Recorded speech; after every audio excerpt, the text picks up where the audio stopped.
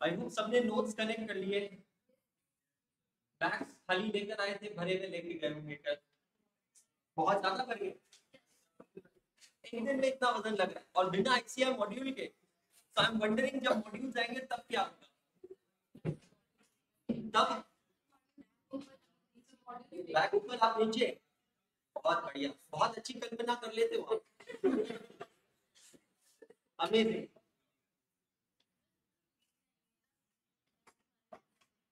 Back benchers को कैसा feel हो रहा है? ये सबसे सही चीज़ है जानने लायक। बैक बेंचर्स को कैसा फील हो रहा है? ऐसा नहीं लगा पूरी क्लास अपने कंट्रोल में। सामने वाले, तुम गरीब लोग थे। तुम कुछ नहीं कर सकते। सो भी नहीं सकते। तुम कुछ नहीं कर सकते। मैं मैं भगवान पीछे बैठा मैं भगवान। ये सही फीलिंग होती है। बैक बेंचर्स की फीलिंग अलग है। चलिए, इसको रख देते हैं साइड में। इट्स बेटर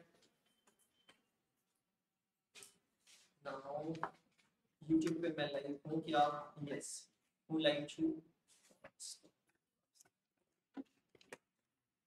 जोशी के मेरी हाइट में फ़र्क है।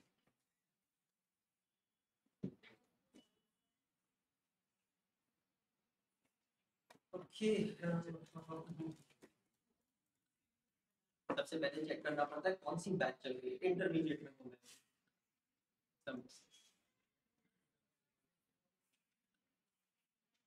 कुछ दिनों बाद आपके साथ भी ऐसा होगा समझ में नहीं आएगा कौन सी क्लास चल रही है, कौन सा सब्जेक्ट चल रहा है। अच्छा फिर टीचर को देखे अच्छा है हाँ।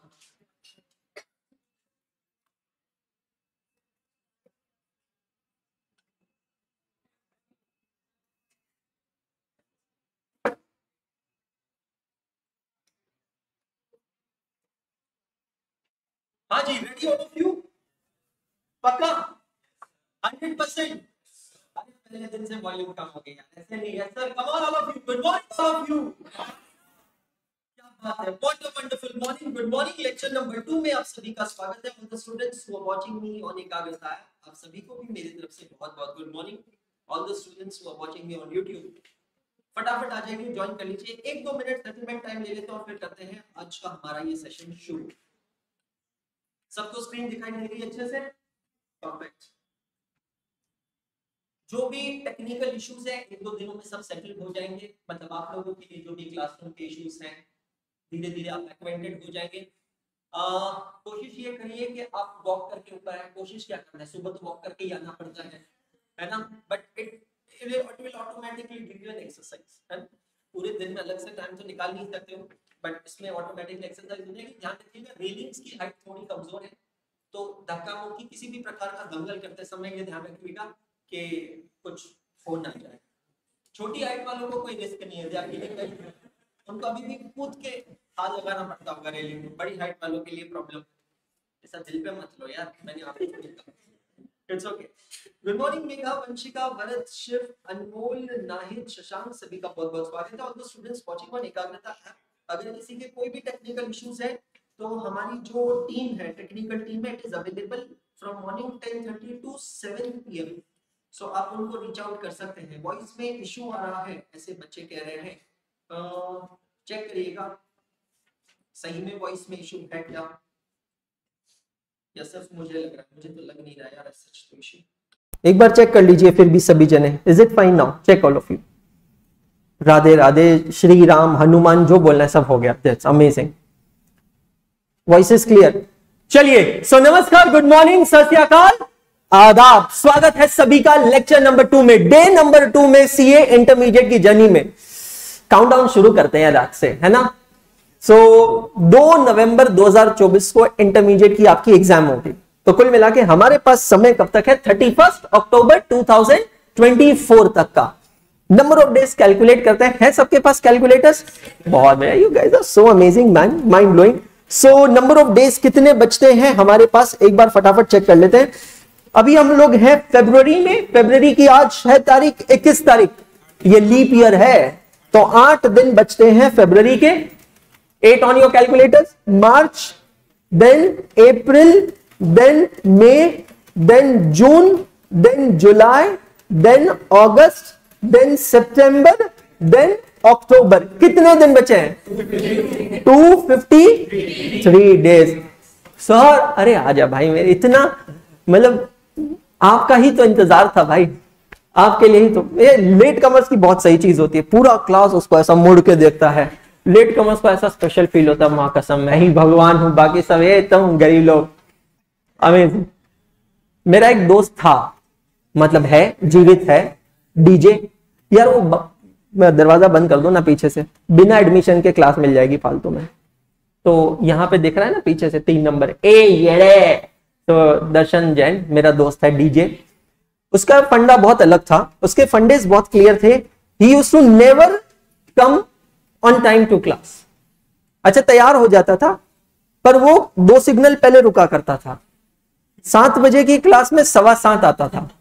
और सवा सात आकर भी उसका फंडा था, वो आगे की बेंच पे बैठता था, लेकिन पीछे से वॉक करके आता था। मतलब समझ रहे हो ऐसा क्यों?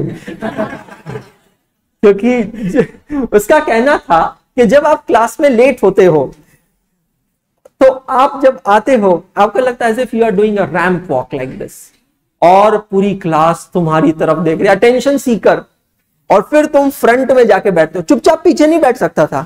उसको सबके बीच से वॉक करके आना है और वॉक करके सामने की बेंच पे बैठना है ताकि लोग उसको देखे। हाँ। और ऑब्वियसली लड़कियों को तैयार होने में जितना समय नहीं लगता था, उससे ज़्यादा समय उसको लगता था तैयार होने में। मेरे को यहाँ देख सकता हूँ, सारे बॉयज़ बेचारे बहुत सिंपलिसिटी वाले बॉयज़ हैं।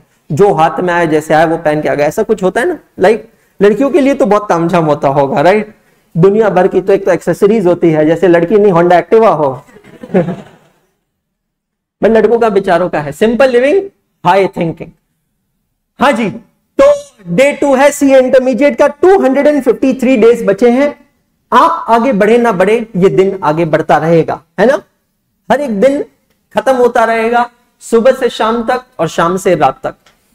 Success is not achieve with one single day of hard work success is achieve from every single day of hard work हमें क्या करना चाहिए, कैसे करना चाहिए, किस तरीके से करना चाहिए, इसके बारे में बहुत अच्छे से हमने कल आराम से बात कर ली है। लेकिन आज हम हमारी पढ़ाई यहाँ शुरू करने जा रहे हैं। करेक्ट किसी के पास तीनों वॉल्यूम्स हैं अभी एडवांस्ड अकाउंटिंग के? एनीवन है? मुझे दिखाएँगे? एक बार मैं सबको दिखा देता हूँ। ऑल द थ्री वॉल्यूम्स तो जो भी ऑनलाइन वाले स्टूडेंट्स हैं, आप लोग आप लोगों की बुक्स जैसे मैंने कल भी कहा था डिस्पैचिंग चालू हो गई है and further it will be dispatch you will receive WhatsApp messages with the tracking ID और जो भी ऑफलाइन के स्टूडेंट्स हैं। भाई, अभी तो ज्ञान ले लो और बुक्स बीच में ले लेना। आप ऑफ़िस में जाकर जब भी हो, है ना? चलिए। सो so, आप सबकी जो एडवांस अकाउंटिंग की बुक्स है वो तीन वॉल्यूम्स में है। आप लोगों ने आई होप थोड़ा एक्सप्लोर किया होगा कल। देखा है बुक्स को? सारे सब्जेक्ट्स की बुक मिल गई आपको। सो वॉल्यूम नंबर वन यहाँ पर लिखा है वॉल्यूम नंबर टू और फिर ये है volume number three now if you look at the difference volume one और टू पे यहाँ पे लिखा है क्लास बुक क्लास बुक का मतलब है this is the book of our basic study यहाँ से हम लोग पढ़ने वाले हैं।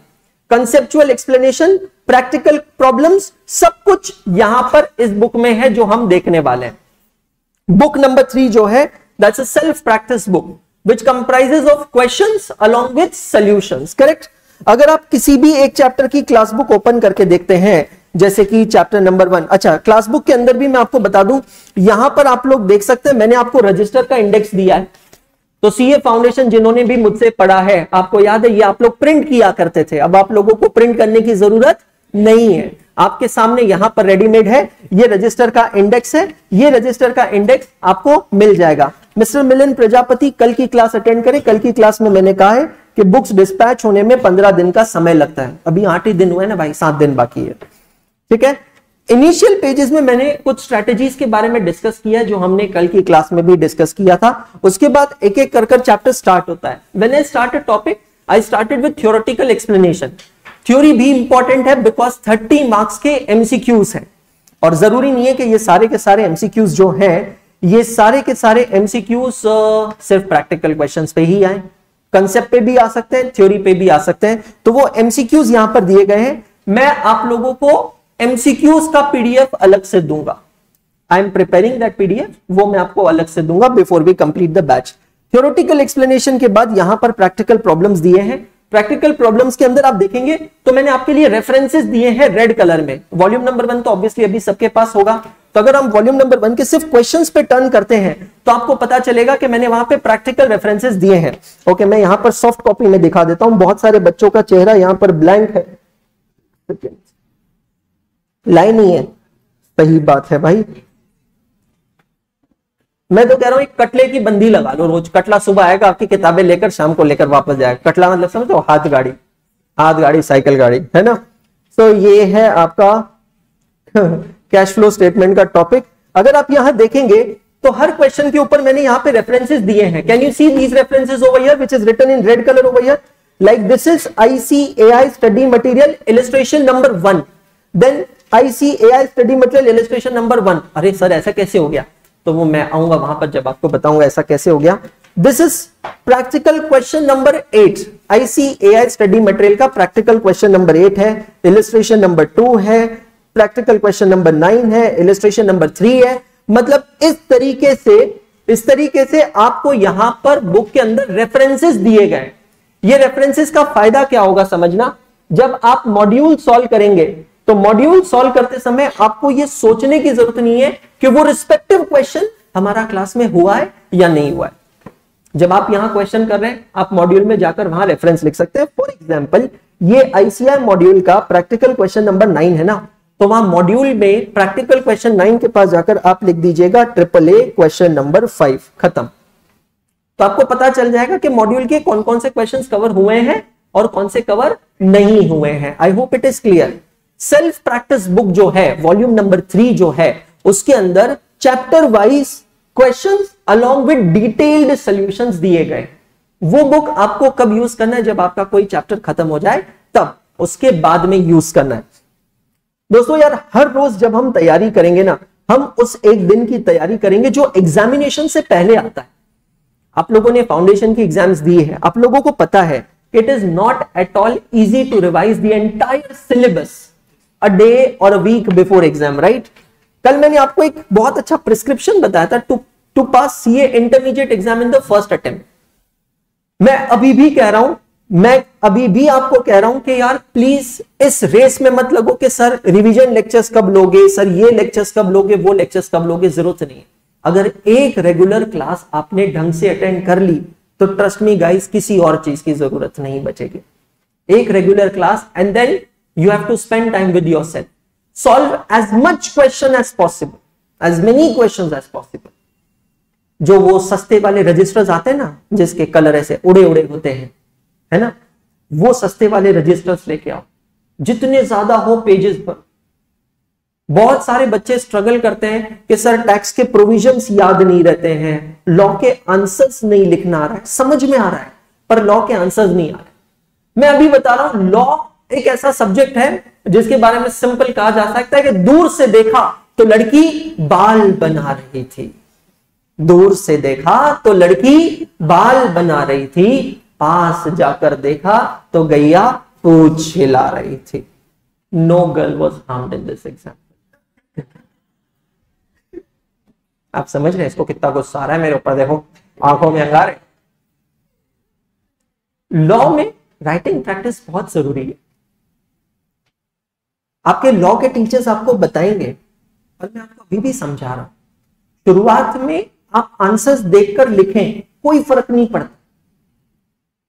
फिर धीरे धीरे जब आप वो लिखते रहेंगे ना लीगल मैक्सिम्स और legal terminologies will come on your term law के अंदर चीज़ों को घुमा के कहा जाता है। मिनिमम को मिनिमम नहीं कहते हैं। पता है क्या कहते हैं? नॉट लेस दैन समझ में आ रहा है?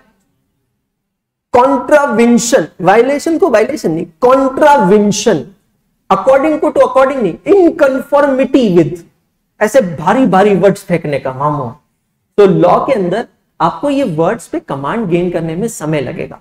सर्टनली इसके कुछ प्रोफेशनल चैलेंजेस होंगे। तो आप जब ये कमांड गेन करोगे तो बाद में आपकी डे टू डे लाइफ में भी आप यही शब्दों का इस्तेमाल करोगे। आप किसी दोस्त से बात करोगे, उसको मैसेज करोगे तो in conformity with in according to और ऐसे ऐसे शब्दों का आप इस्तेमाल करने लगेंगे। समझ में आ रहा है आप लोगों को? But that's good that's a good problem to solve so इन चीज़ों का रखना है ध्यान। Writing practice is the most important thing मैं मेरे लिए uh, मेरी इंटरमीडिएट की लाइफ में एक फंडा ऑब्ज़र्व करता था मैं आपके साथ शेयर करता हूँ। डेली के एक या दो आंसर्स आप लिखा करें लॉ के। शुरुआत करें देख के लिखने की और फिर बाद में कंटिन्यूएशन में लिखते रहें। Same thing goes with taxation provision is easy to understand but application of provision becomes difficult शुरुआत में तो अभी टैक्सेशन के दिन बहुत मनोहर लगेंगे, बहुत बढ़िया लगेंगे। हमारे टैक्स के टीचर भी बहुत खास होते हैं। एक दूसरे की उखाड़ते हैं क्लास में आके इनकम ये टीचर पता है कितना कमाता है? वो टीचर कितना कमाता अच्छा बच्चों को भी बड़ी क्यूरियोसिटी होती है जानने की कि टैक्सेशन में मतलब किसको कितना टैक्स लगता होगा। अभी कल तो आपका पहला दिन था। आपको मोहित सर निशान सर, ये लोग पढ़ाएँगे कि इनकम टैक्स स्लैब्स क्या क्या होते हैं। वैसे तो थोड़ा बहुत तो ज्ञान आपको होगा ही, है ना? ऑनलाइन मिल ही गया होगा। तो इनकम टैक्स की स्लैब जो होती है, ढाई लाख रुपए तक कोई टैक्स नहीं लगता, है ना? अभी एक मेरे को एक बात बता। भाई, ये मुकेश अंबानी जी को ढाई लाख रुपए से क्या ही फ़र्क पड़ता होगा? मतलब मुकेश अंबानी जैसे ढाई लाख से इतने तक ज़ीरो टैक्स फिर दस टका फिर बीस टका क्या ही फ़र्क पड़ता होगा भाई? कोई फ़र्क नहीं पड़ता होगा। तो ये क्यूरियोसिटी होती है जानने की। टैक्सेशन के अंदर प्रॉब्लम और सोल्यूशन मैं आपको दोनों बताता हूँ। अगेन मैं टैक्स का टीचर नहीं हूँ बट मैं आपको सीरियसली बता रहा हूँ। टैक्सेशन में अच्छी चीज़ ये है कि सब्जेक्ट में इंटरेस्ट बहुत क्विकली क्रिएट होता है। हुआ होगा ना कल टैक्सेशन में, एकदम ऐसा क्विकली क्यूरियोसिटी बहुत ज़्यादा होती है चीज़ों को जानने की। ड्रॉबैक पता है क्या है? ये क्यूरियोसिटी और ये इंटरेस्ट अकेडमिक लाइफ में सब जने कन्वर्ट नहीं कर पाते। जब प्रॉब्लम सॉल्विंग की बात आती है तो बच्चा अटक जाता है। जब प्रोविजंस अप्लाई करने की बात आती है, बच्चा अटक हाँ जब टीचर समझा रहा है, तब समझ में आ रहा है। जब एग्जाम्पल्स दे रहे हैं, बहुत अपीलिंग लग रहा है, बहुत इंटरेस्टिंग लग रहा है। लेकिन जब बात आती है उसको क्वेश्चन में डालने की, तब हम अटक जाते हैं, क्योंकि हम उन मनोहर कहानियों में ही उलझे पड़े हम अटके पड़े हैं इधर उधर हम अटके पड़े हैं दुनिया भर के टेलीग्राम ग्रुप्स पे। हम अटके पड़े हैं दुनिया भर के व्हाट्सएप ग्रुप्स पे। ट्रस्ट मी गाइस अगर पास होना है तो आपको खुद को रेस्ट्रिक्ट करना होगा। मुंबई लोकल सुना है किसी ने? Life line of Mumbai local हर कोई लोकल से ट्रैवल करता है मोस्टली लोकल से जब ट्रैवल करते हैं तो मुंबई में लोगों की आदत है, वो जो बैग है, वो सामने लगाते हैं, पीछे की जगह। क्यों लगाते हैं ऐसे सामने? सेफ्टी के लिए। क्योंकि काफ़ी बार जब बैग पीछे रहता है तो पीछे के पीछे चीज़ें गायब हो जाती है। मेरे साथ तो सबसे बड़ी दुर्घटना हो गई थी। मैं इंडियन आइडल का जब कंटेस्ट कंटेस्ट करने गया था ऑडिशन देने गया था वन ऑफ़ द ऑडिशन तो मेरी चप्पल चोरी हो गई थी मुंबई दादर रेलवे स्टेशन तो मैं नंगे पैर गया था फ़र्स्ट ऑडिशन देने के लिए। बिल्कुल मेरे को वहाँ पूछा जजेस ने चप्पल का है? मैंने कहा दुर, दुर्गा जी के लिए उपास रखा है छोड़ समझ रहे आप? बड़ा डेंजर है। तो लोग बैग आगे लटकाते हैं, ताकि पीछे से कुछ गायब ना हो जाए, नहीं तो पता चले बैग की पट्टियाँ रह गई, पूछा, पूरा के पूरा बैग गायब हो गया। मुंबई है मेरी जान, कुछ भी हो सकता है यहाँ पर। हाँ? अरे भाई, कहीं पे भी हो सकता है, ज़रूरी नहीं है कुरला में, अकेले कुरला को काहे बदनाम कर रहे हैं मैं ये कहना चाहता हूँ कि आपको अपने इर्द गिर्द आपको अपने इर्द गिर्द ऐसा ही एक सर्कल बनाना पड़ेगा। जहाँ आपको सोचना पड़ेगा कि आप उसमें किसको आने की इजाज़त दें और किसको नहीं दें। Who can who can actually impact your mind and who should not impact your mind कल मैं फाउंडेशन की क्लास ले रहा था। एक एक कॉमन सवाल है जो आप लोगों से पूछना ज़रूरी है कि बच्चे क्यों फेल हुए दिसंबर 23 में? तो one of the reason that came out was sir we got confuse between multiple teachers अब बच्चा क्या होता है? पहले जब मैं पढ़ता था मेरा जो समय था वो समय में हम एक टीचर की क्लास लगाते थे और बस उसी टीचर को सुनते थे। किसी और एकेडमी के टीचर से मतलब हमारा ऐसा दूर का लाइक छत्तीस का आंकड़ा होता था। वो दिख भी गया हाँ, हाँ, हम इसके स्टूडेंट हैं। हाँ, ऐसे एक अलग टाइप का माहौल होता था। अच्छा यूट्यूब अगर था, ऐसा नहीं कि मैं मोहनजोदारो के समय में वैसे ये बना हूँ। यूट्यूब अगर था, ऐसी बात नहीं है। लेकिन समय कहाँ था? एक तो इंटरनेट का प्लान बहुत महँगा हुआ करता था, ठीक है? पर समय कहाँ बचता था? आर्टिकलशिप के साथ इंटरमीडिएट करता था मैं। समय नहीं बचता था। अब आजकल तो भैया हर बच्चा यूट्यूबर बना पड़ा है। और बच्चा बच्चे को जल्दी इन्फ्लुएंस करता है, ये बात मान के चलिएगा। हो सकता है कुछ दिनों बाद आप खुद ही वीडियो देखें how I pass intermediate in just two months of studies एक तो टाइटल ऐसे देते हैं, माँ कसम, कि बच्चा वहीं फ्लैट हो जाए। How I got 72 marks in account ये टीचर ने जो यहाँ फेफड़े सुखा सुखा के क्लास में पढ़ाए हैं, वो सब बच्चे के दिमाग में नहीं जाएगा। वो बच्चा पहले वो वीडियो खोल के देखेगा how I got 72 marks in accounts her teacher के पास एक वीडियो एडिटर होता है। वो उसकी रील्स बनाता है है ना? वो रील्स बनाने के बाद वो एक कंटेंट आप तक पहुँचता है इधर उधर से ऐसा ऐसा घूम घूम के एक कंटेंट आप तक पहुँचता है। वो कंटेंट में बोलते बस अगर तुम्हें सीए करना है तो बस ये कर लो, वो कर लो। तुम सीए बन जाओगे। मैंने भी ऐसा किया था, मैं सीए बन गया, तुम भी ऐसा कर लो सीए बन जाओगे। बस उस दिन से क्या हुआ? उसका माइंड इन्फ्लुएंस होता है। देखो, ये फैक्ट बता रहा हूँ मैं आपको। आपको खुद को शील्ड करना पड़ेगा। इसका मतलब मैं ये नहीं कहूँगा मैं ये नहीं कहूँगा कि प्लीज़ आप सोशल मीडिया से डिस्कनेक्ट हो जाओ। मैं पर्सनली बता रहा हूँ, बहुत ज़्यादा ज़रूरी है। बहुत ज़्यादा ज़रूरी है।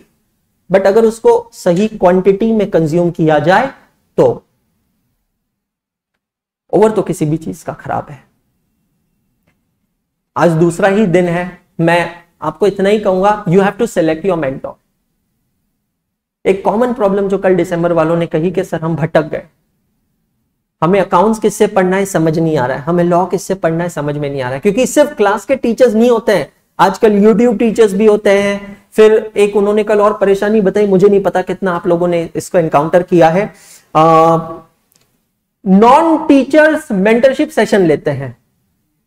ये भी कल एक परेशानी उन लोगों ने बताई। जो लोगों का टीचिंग से कोई ताल्लुकात नहीं है, ये पढ़ाते नहीं है, वो मेंटरशिप सेशंस लेते हैं। और वहाँ पर भी बच्चे भटकते हैं। मैं सच बता रहा हूँ, वहाँ पर भी बच्चे भटकते हैं। तो you will have to be very very choosy in that correct clear चलिए, अब मेरे को ये बताइए, आप में से कोई भी साइंस वाला है? साइंस बैकग्राउंड से है? कोई भी नहीं है? सब कॉमर्स में कन्वर्ट हो गए? बहुत बढ़िया। चलिए, चालू करते हैं हमारे बेसिक्स का सेशन और बेसिक्स ऑफ़ अकाउंटिंग से शुरू करते हैं। रजिस्टर बनाने के कुछ नियम सीए इंटरमीडिएट एडवांस अकाउंटिंग के लिए आपको 200 पेजेस के आ, आ, आ, दो रजिस्टर्स लगेंगे। मिनिमम टू रजिस्टर्स और कॉस्ट अकाउंटिंग के लिए भी दो रजिस्टर्स लगेंगे। तो मेरे लिए तो आप चार से पाँच रजिस्टर्स खरीद के रखिएगा है ना? रजिस्टर्स ड्यूरेबल लीजिएगा जो लंबे समय तक चले। कोशिश पूरी रहेगी नवंबर 24 में निकल जाए। बट अब आगे का पता नहीं ना। इसीलिए इंस्टीट्यूट भी कहता है कि इंटरमीडिएट का register is valid for how many years four years five years है ना? तो ड्यूरेबल रखिएगा रजिस्टर्स हर चीज़ को अच्छे से लिखिएगा, आदत डालिएगा। इंस्टीट्यूट के सारे पेपर्स ब्लैक कलर के पेन से ही लिखने हैं कंपल्सरीली तो आज से ही कोशिश करो कि रजिस्टर में ब्लैक कलर के पेन से रखो, लिखो, लेकिन रेड ग्रीन कलर के दो तीन कलर के पेन अपने पास रखो। कोई भी एक्सप्लेनेटरी नोट्स रहे, उसको लिखने में हम लोग यहाँ पर यूज़ करेंगे। We we do have an approach to make one page as a self analysis page इस इस पार्ट में हम नहीं बनाएँगे कैश फ्लो चालू करेंगे जब हम बनाएँगे करेक्ट तो अपने रजिस्टर्स में आएँगे, पहले पेज पे आप शुरुआत करेंगे और यहाँ पर आकर लिखेंगे basics of accounting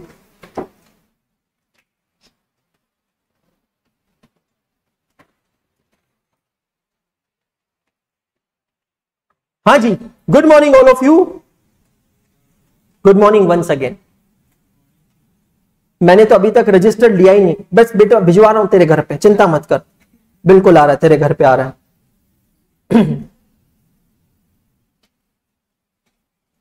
okay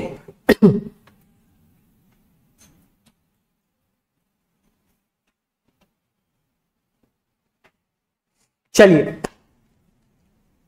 Accounting means any type of counting correct accounting means any type of counting accounting की अलग अलग सब फ़ील्ड होती है, लोगों को लगता है कि अकाउंटिंग का मतलब होता है सिर्फ़ डेबिट और सिर्फ़ क्रेडिट बट ऐसा नहीं है। अकाउंटिंग एक फ़ंक्शन है।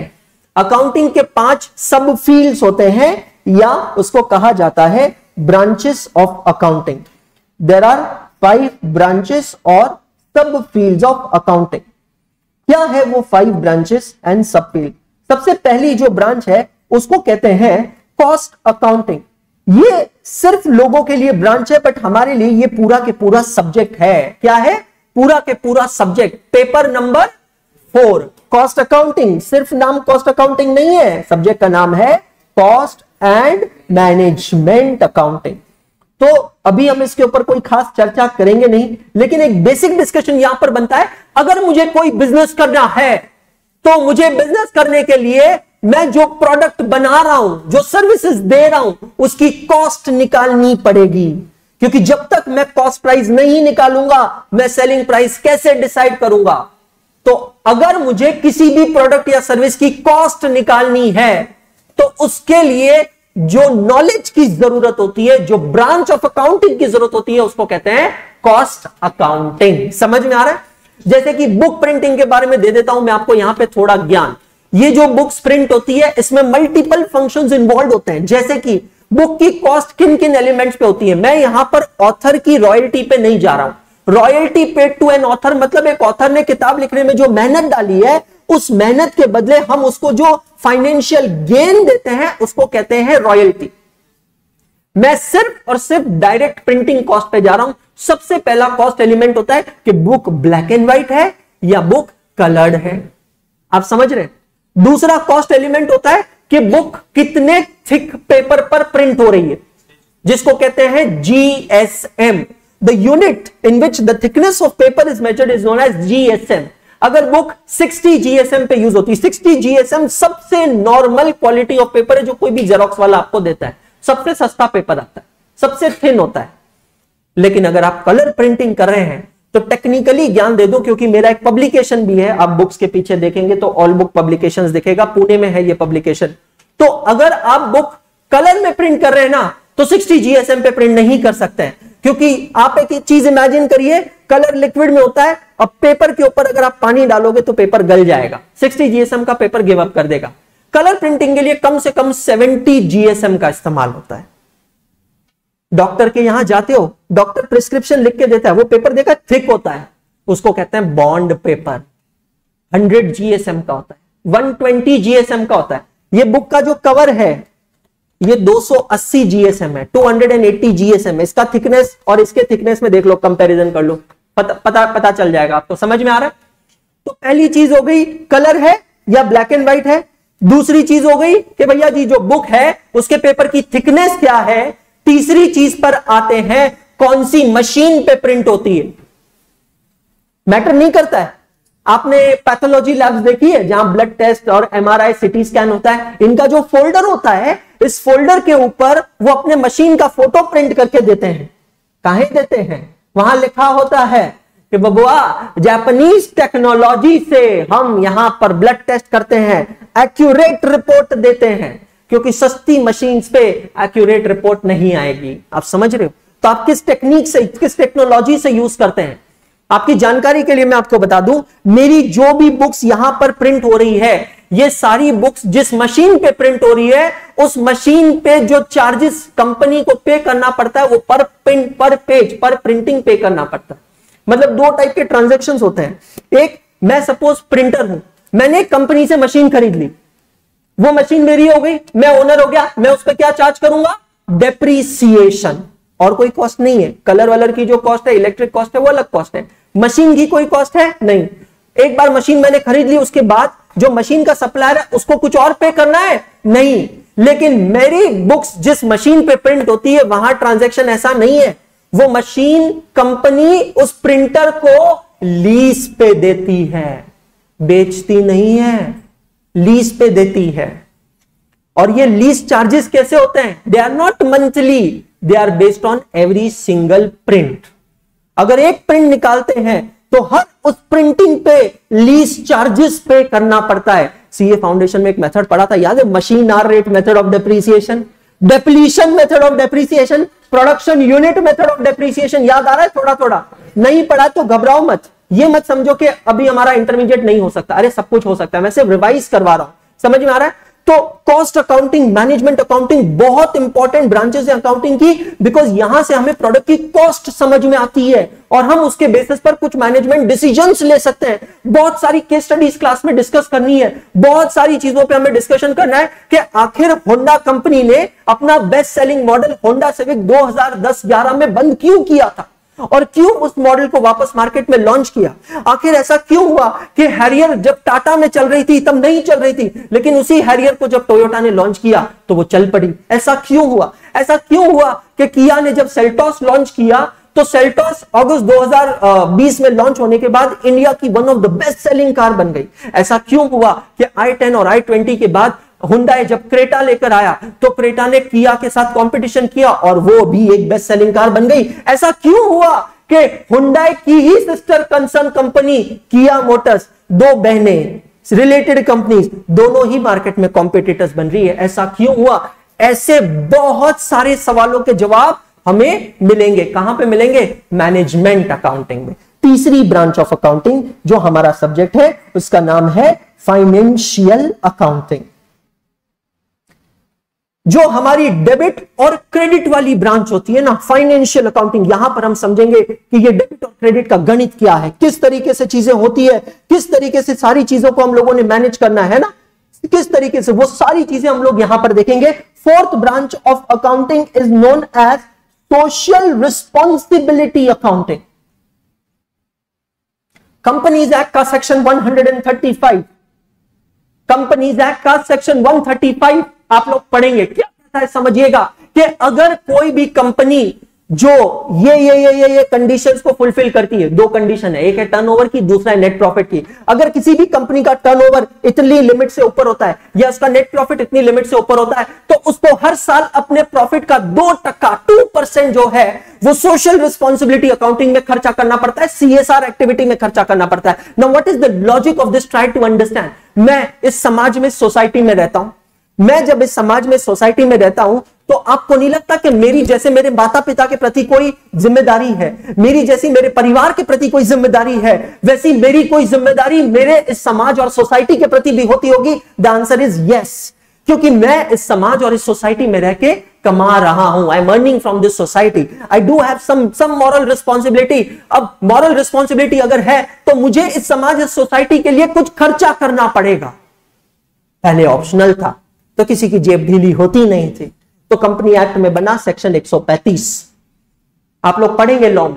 सेक्शन 135 कहता है कि चल बेटा, अगर तेरा टर्नओवर इतनी लिमिट से ऊपर है और अगर तेरा नेट प्रॉफिट इतना है तो हर साल तेरे प्रॉफिट का दो परसेंट तुझे खर्चा करना पड़ेगा कॉर्पोरेट सोशल रिस्पॉन्सिबिलिटी के लिए। और ये कारण है जहाँ आप किसी भी शहर में देखोगे तो बड़े बड़े चौराहे बने होते हैं। चंडीगढ़ इज़ फ़ेमस फॉर चौरास, है ना? बड़े बड़े सर्कल बने होते हैं। सर्कल पे लिखा होता है, सौजन्य से, ये कंपनी का नाम।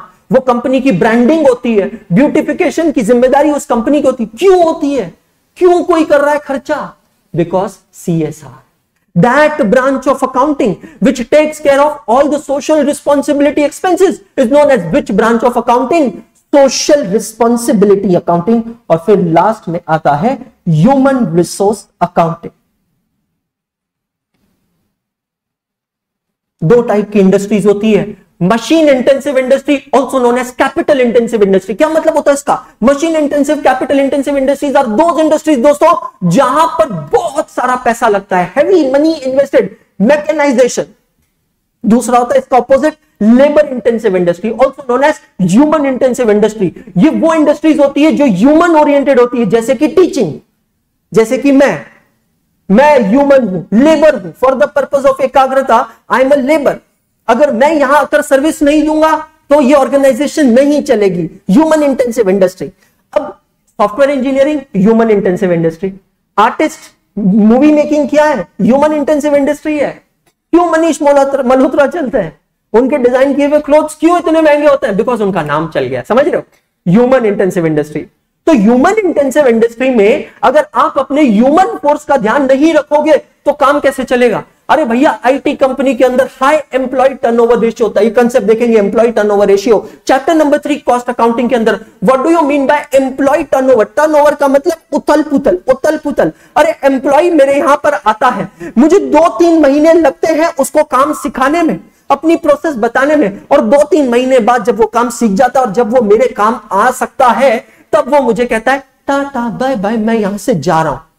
आपको नहीं लगता उसमें मेरा नुकसान होगा? बहुत नुकसान होगा।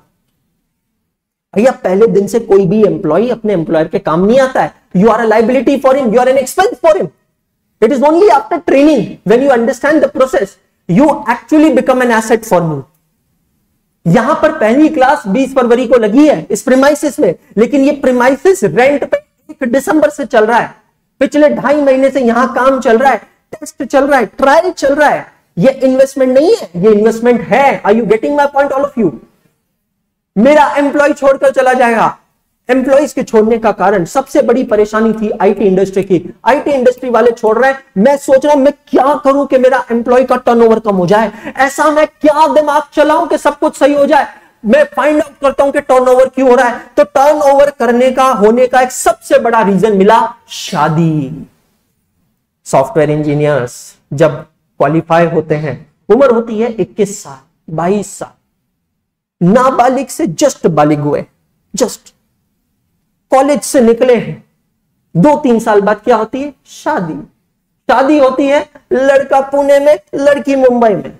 लड़की गुड़गांव में, लड़का हैदराबाद में। Long distance relationship not possible मंगलम कल्याणम। मंगलम कल्याणम। अब या तो लड़का शिफ्ट होगा हैदराबाद से गुड़गांव, या लड़की शिफ्ट होगी सॉरी गुरुग्राम से हैदराबाद क्या मिया पैसा करने का? पैसा करने का? अभी किसी एक को तो जॉब छोड़ना पड़ेगा। टर्नओवर हुआ कि नहीं हुआ? कंपनी के अमाउंट विद एन ऑफ़र अगर हमारी ही कंपनी का लड़का, हमारी ही कंपनी की लड़की से मंगलम कल्याणम करता है, हम आपका हनीमून स्पॉन्सर करेंगे। अरे हंस रहे हो? नालायक को सही बोल रहा हूँ मैं। हाँ? कॉग्निजेंट कैटजेमिनी एक्सेंचर ये आईटी कंपनीज़ का ऑफ़र है। हाँ हमार कंपनी का छोकरा, हमार कंपनी के छोकरे से शादी करता है, तीन लाख रुपए का कैश गिफ्ट पर पहली शादी पे हाँ। बोनस के चक्कर में दूसरी नहीं करने का सर, पहले का को नहीं बोला? हम अभी जस्ट शादी करके ये कंपनी ज्वाइन किए हैं। बताइए। नहीं नहीं, सर, बाकी जगह भी सुविधाएँ हैं बट अनफॉर्चुनेटली हम चार्टर्ड अकाउंटेंट्स के लिए इतना नहीं है।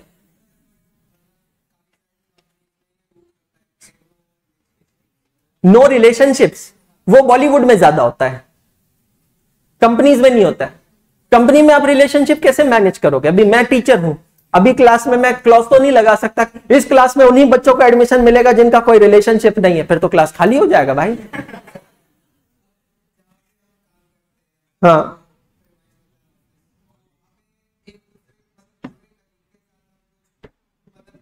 अब अब कुछ ये लड़का बहुत अश्लील सोच रखता है। इससे बच के रहे। अरे कुछ करेगा नहीं यार, कर लिया तो ठीक है दुल्हा दुल्हन राज़ी। आप और मैं क्यों करेंगे काजी? कहा है इस्तेमाल करे अभी हो गया जो हो गया यार, जस्ट चिल ढूंढू क्या टेंशन लेने का है? समझ लो मेरी बात? देखो यार, ये क्यों है? इसका इंटेंशन समझो। कंपनी तीन लाख रुपए खर्चा करने को क्यों तैयार है? क्योंकि कंपनी को एक चीज़ पता है। क्या पता? है हैदराबाद से ही फ़ोन आ रहा है, परेशान कर दिया। कंपनी का क्यों फ़ोन आ, फ़ोन क्यों आ रहा है? कंपनी कंपनी तीन लाख रुपए क्यों खर्चा कर रही है? क्योंकि अगर मेरी कंपनी का लड़का मेरी कंपनी की लड़की से शादी करेगा ना लड़का छोड़ के जाएगा ना लड़की छोड़ के जाएगी। टर्नओवर कम हुआ कि नहीं हुआ? एम्प्लॉय टर्नओवर लॉजिक समझने की कोशिश करो। कंपनी अलग अलग समय पे गिफ्ट्स देती है एम्प्लॉय को। बर्थडे पे गिफ्ट देती है दिवाली दशहरा ईद पे गिफ्ट देती है हैम्पर्स देती है। क्यों देती है? क्यों? बिकॉज़ वो अपने एम्प्लॉयज़ को खुश रखना चाहती। एकदम रियलिस्टिक एग्ज़ाम्पल देता हूँ मैं आपको ये सब रियलिस्टिक ये काल्पनिक नहीं है। ध्यान देखिएगा।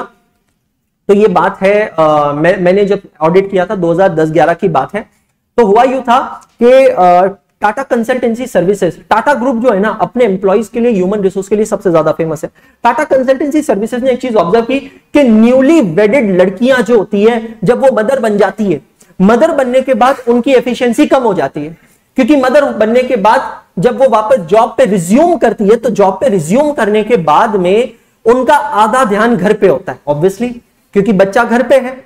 तो अब उन लड़कियों का प्रोडक्टिविटी नहीं हो रहा है। या तो वो प्रोडक्टिव नहीं होती है, या फिर वो जॉब छोड़ देती है। टाटा ने सोचा, यार, इस पे करें तो करे क्या? मैं बिल्कुल लाइव एग्जांपल दे रहा हूँ। पुणे के हिंजेवाड़ी एरिया का एग्जांपल है। टाटा कंसल्टेंसी कंपनी ने अपनी ही कंपनी के प्रेमाइसिस में डे केयर ओपन कर दिया। डे केयर का मतलब जानते हो? डे केयर का मतलब अपने बच्चे साथ में लेके आओ और दिन भर वहाँ पे छोड़ के जाओ। It's like day day what you called hostel day hostel वहाँ पे नैनीज होती है टॉयज होते हैं, बच्चों के खाने पीने की कोई चिंता नहीं। अब अब देखो, वो जो मदर्स है, वो मदर्स की चिंता दूर हो गई ना। मेरा बच्चा घर पे है, कैसा होगा, क्या होगा, ये चिंता ही नहीं है। ऑफ़िस में जब भी मन हो, दस मिनट जाकर बच्चे से मिलकर आ सकती है। सडनली वो लड़कियों की प्रोडक्टिविटी बढ़ गई। This is known as human resource management that branch of accounting where all these expenditures are done is known as which branch of accounting? Human resource accounting. Are you getting my point, all of you? So, ये है सारे basic सब field और branches of accounting अब हम यहाँ पर आते हैं फाइनेंशियल अकाउंटिंग के अंदर। फाइनेंशियल अकाउंटिंग के अंदर अकाउंटिंग की प्रोसेस को लिखते हैं। सेकेंड पार्ट सभी जने लिखेंगे। We are now going to see what is an accounting process मतलब अकाउंटिंग करने की प्रोसेस क्या होती है, वो चीज़ को हम लोग यहाँ पर देखने वाले हैं। अकाउंटिंग प्रोसेस का स्टेप नंबर वन होता है। It start with an event foundation अगर मुझसे पढ़ा है तो याद आ जाएगा, नहीं पढ़ा है तो अभी समझ लीजिएगा। इवेंट इवेंट का मतलब क्या होता है? घटना घटना। हमारे साथ बिज़नेस में कई सारी घटनाएँ होती है। उन घटनाओं से पूछते हैं हम तीन सवाल। क्या है वो तीन सवाल? अरे यो घटना का तोहर, हमार, मुन्ना के साथ कोनो संबंध है का? मतलब रिलेशनशिप है का? मतलब you related to the business what is the first question are you related to the business the second question is can you be express in terms of money and number three is there any change in financial position मतलब ये जो घटना हो रही है, ये जो event हो रहा है, क्या इस घटना या इवेंट की वजह से कोई भी तरीके की इनकम एक्सपेंडिचर एसेट या लाइबिलिटी क्रिएट हो रही है क्या? अगर इन तीनों सवालों का जवाब है हाँ मतलब कुबूल है कुबूल है कुबूल है तो निगाह संपन्न हुआ। मतलब ये इवेंट सिर्फ़ इवेंट नहीं रहेगा, ये क्या बन जाएगा? ट्रांजैक्शन बन जाएगा। इवेंट बन जाएगा transaction.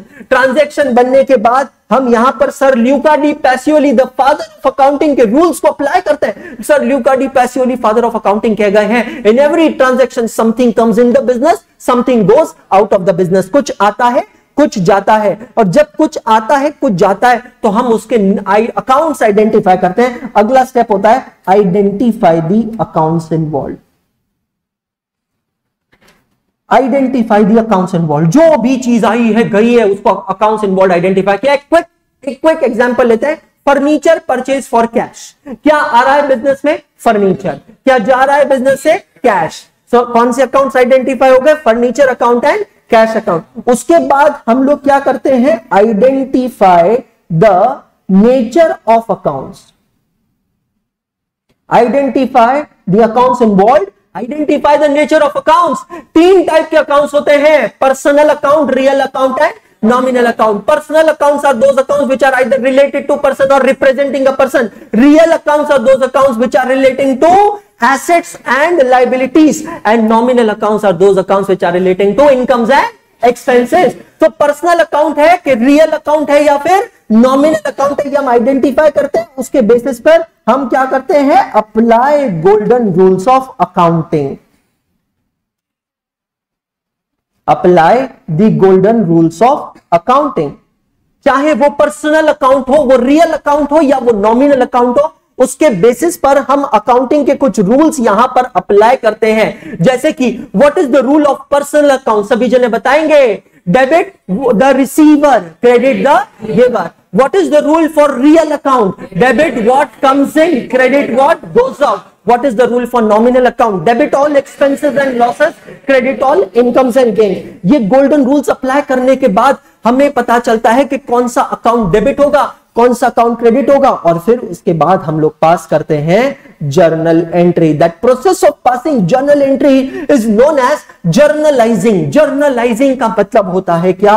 Recording the transaction in primary books of accounts आएँगे हम इस विषय के ऊपर कि what is primary book of account what is secondary book of account but हम यहाँ पर रूल्स आइडेंटिफाई करने के बाद क्या करते हैं? जर्नल एंट्री पास करते हैं. Journal entry is the language of communication of business how you communicate in the business journal entry pass करते हैं प्राइमरी बुक्स ऑफ़ अकाउंट्स में रिकॉर्ड करने के बाद हम उसकी पोस्टिंग करते हैं to ledger accounts ledger accounts ledger account में पोस्टिंग करना, इसको कहते हैं सेकेंडरी बुक्स ऑफ़ अकाउंट्स क्या कहते हैं बेटा जी? Secondary books of account ledger accounts are secondary books of accounts उसमें हम उसकी करते हैं पोस्टिंग पोस्टिंग करने के बाद हम यहाँ पर बनाते हैं एक summary Can you tell me what is that summary? A summary of ledger accounts which contains the balances of ledger account.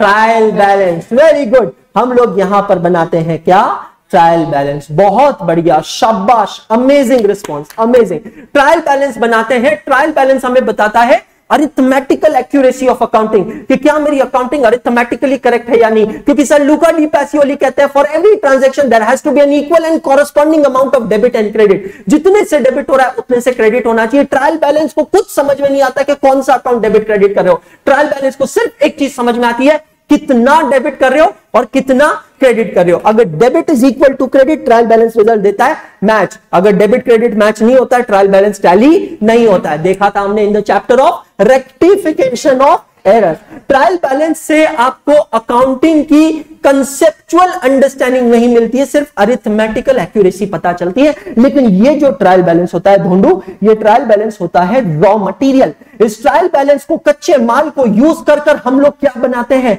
We prepare our financial statements ये जो फाइनेंशियल स्टेटमेंट्स होते हैं, ये फाइनेंशियल स्टेटमेंट्स हमारे फाइनल डिलीवरेबल्स होते हैं। नया शब्द यहाँ पर आप देख रहे हैं डिलीवरेबल डिलीवरेबल का मतलब होता है the final document the resultant document कोई भी चीज़ मैं कर रहा हूँ, कोई भी एक्टिविटी मैं कर रहा हूँ, उस चीज़ और एक्टिविटी करने के बाद जो एक फाइनल रिपोर्ट बनता है, उसको कहते हैं डिलीवरेबल जैसे कि रिपोर्ट कार्ड हमारा रिपोर्ट कार्ड डिलीवरेबल है। मैं कोई प्रोजेक्ट पे काम कर रहा हूँ, वो प्रोजेक्ट की जो रिपोर्ट बनती है प्रोजेक्ट रिपोर्ट वो प्रोजेक्ट रिपोर्ट क्या है? डिलीवरेबल है। वैसे ही मेरा फाइनेंशियल स्टेटमेंट मेरा क्या है? डिलीवरेबल है।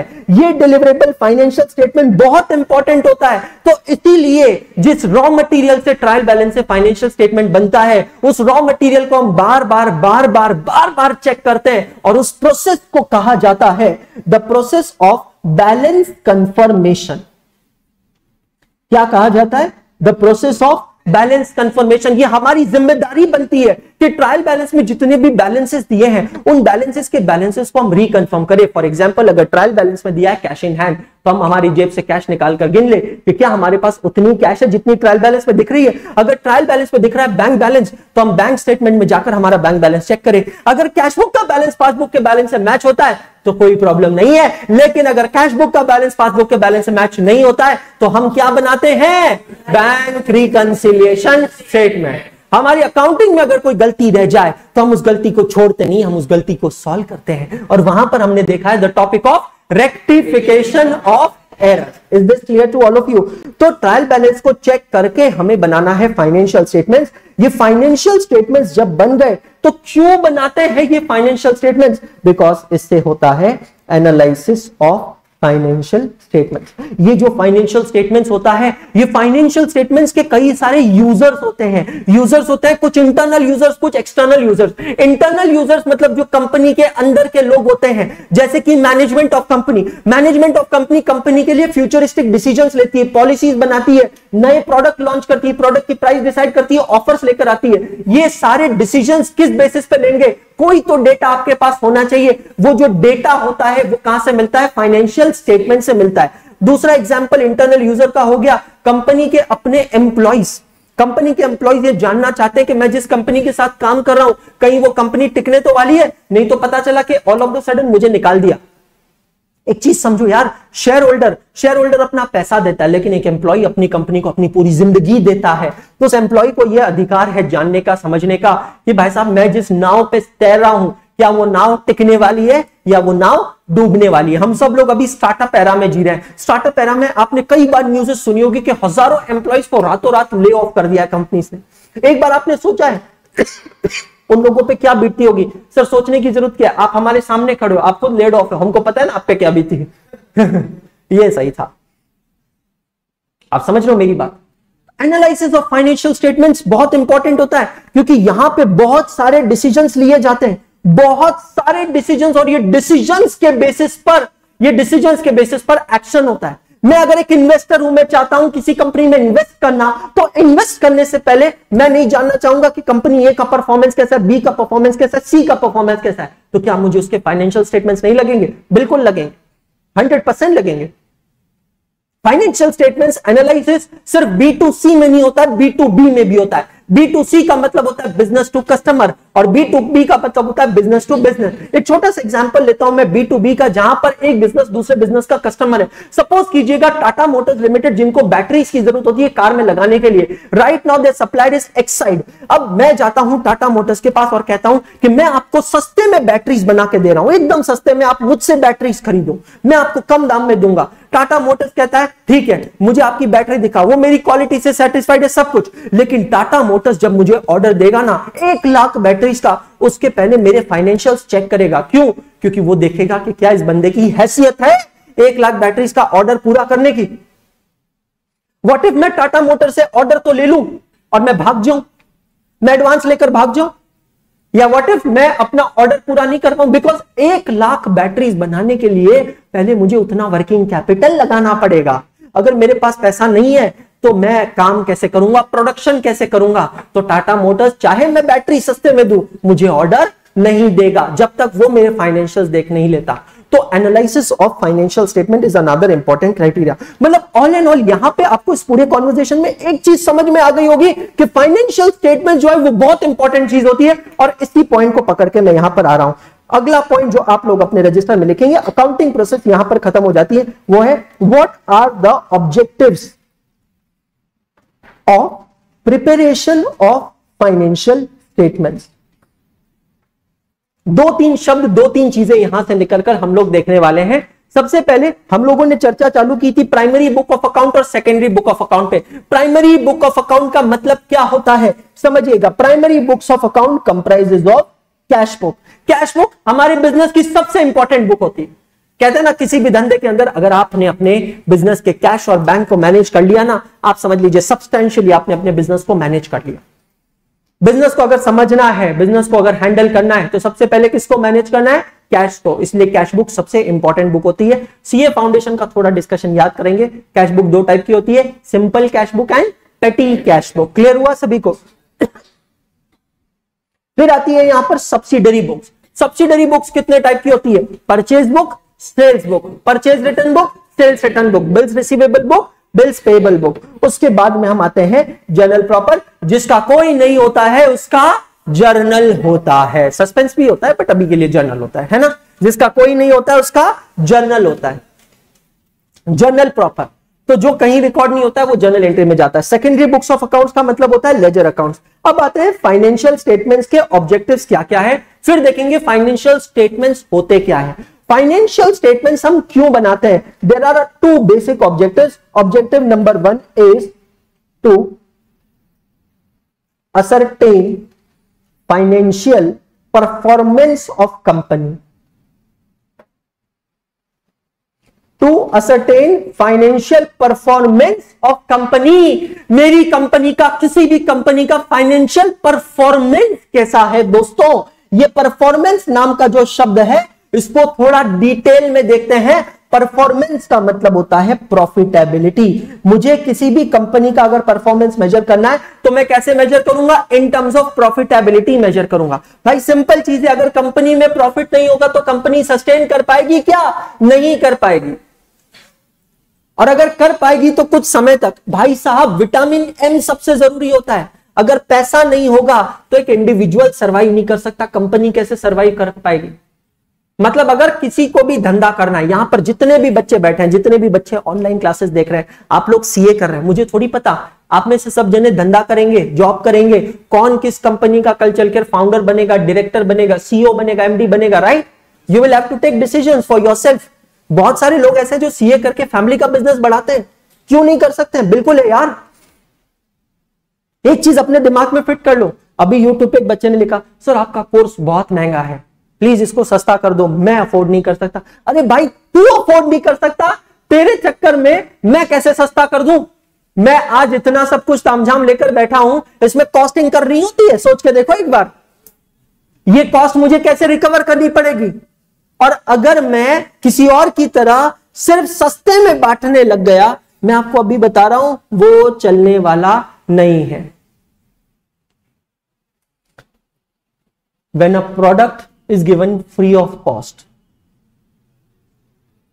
then understand that you yourself are a product have you understood what i said उबासी कोई नहीं लेगा क्लास में हाँ when a product is given free of cost then understand you yourself are a product ये मान के चलो ये पक्का है हंड्रेड परसेंट फैक्ट है ये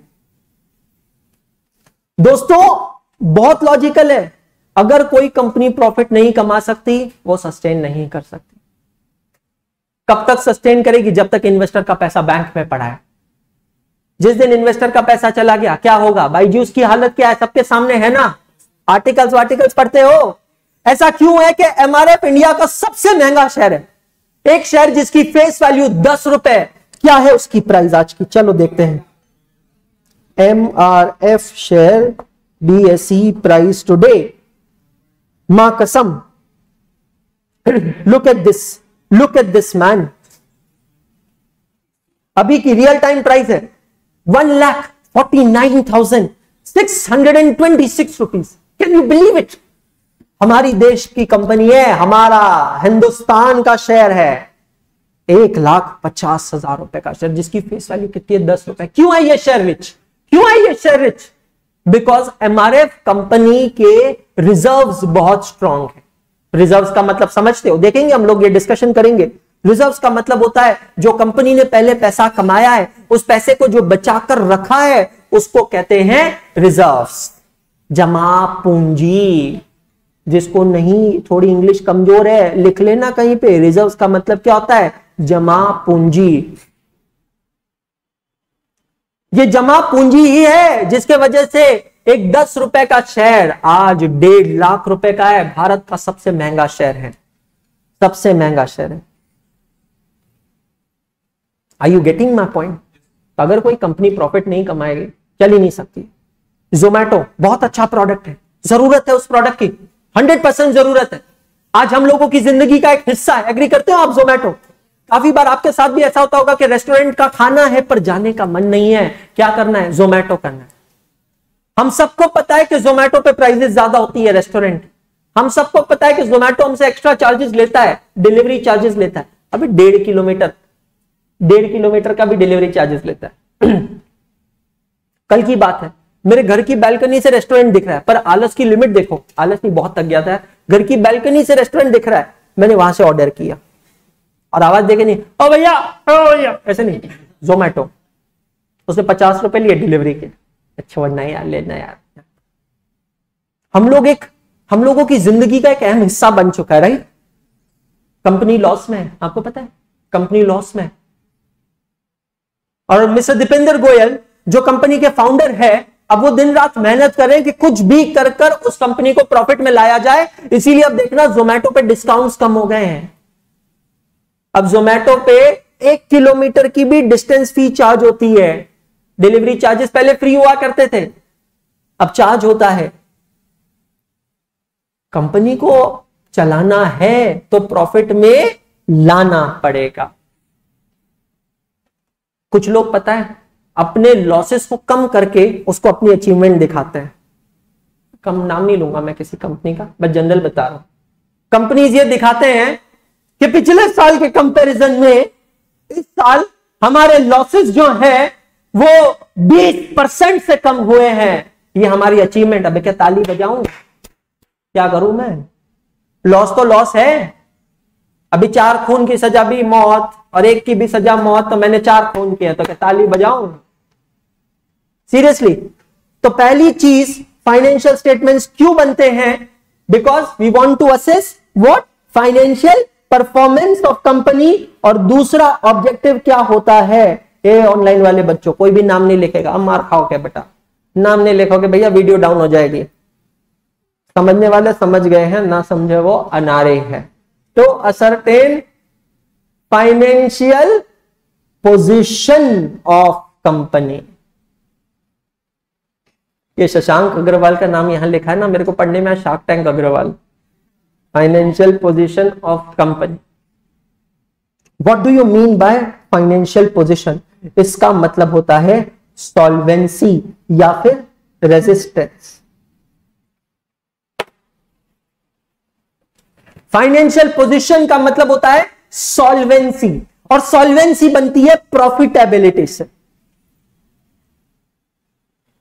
भाइयों, बहनों आज आपके सामने ये जो एकाग्रता का इंफ्रास्ट्रक्चर बना है can I say this is fixed asset of एकाग्रता? थिंक अबाउट इट हम लोग पढ़ेंगे accounting standard ten property plant and equipment don't you agree with this is it not the fixed asset of एकाग्रता? ये furniture मैं आपको एकदम realistic सिखाता हूँ। हमारी फिक्स्ड एसेट्स क्या क्या है?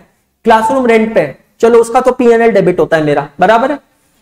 मैंने क्लासरूम में जो फर्नीचर बनाया है isn't it my asset classroom में जो इक्विपमेंट्स लगे हैं isn't it my asset office का जो फर्नीचर है इजेंट इट माई एसेट आपकी जानकारी के लिए एकाग्रता को कुछ दिनों बाद, या मैं कहूँगा परसों एग्जैक्टली छह महीने पूरे होंगे। ट्वेंटी थर्ड ऑगस्ट 2024 को एकाग्रता बना था। पहली बार है ना? और परसों हम लोग ट्वेंटी थर्ड फेब्रवरी को छह महीने एकाग्रता के पूरे करेंगे।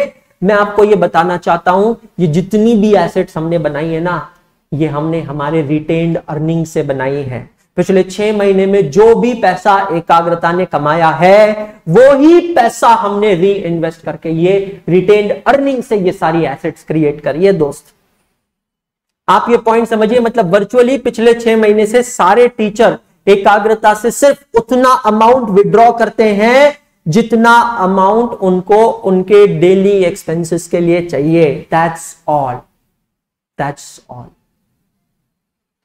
financial position मतलब रेजिस्टेंस रेजिस्टेंस का मतलब होता है, जब मैं ऊपर से गिरता हूँ तो गिरने के बाद क्या नीचे कोई सपोर्ट है जो मुझे चोट पहुँचने से बचाए?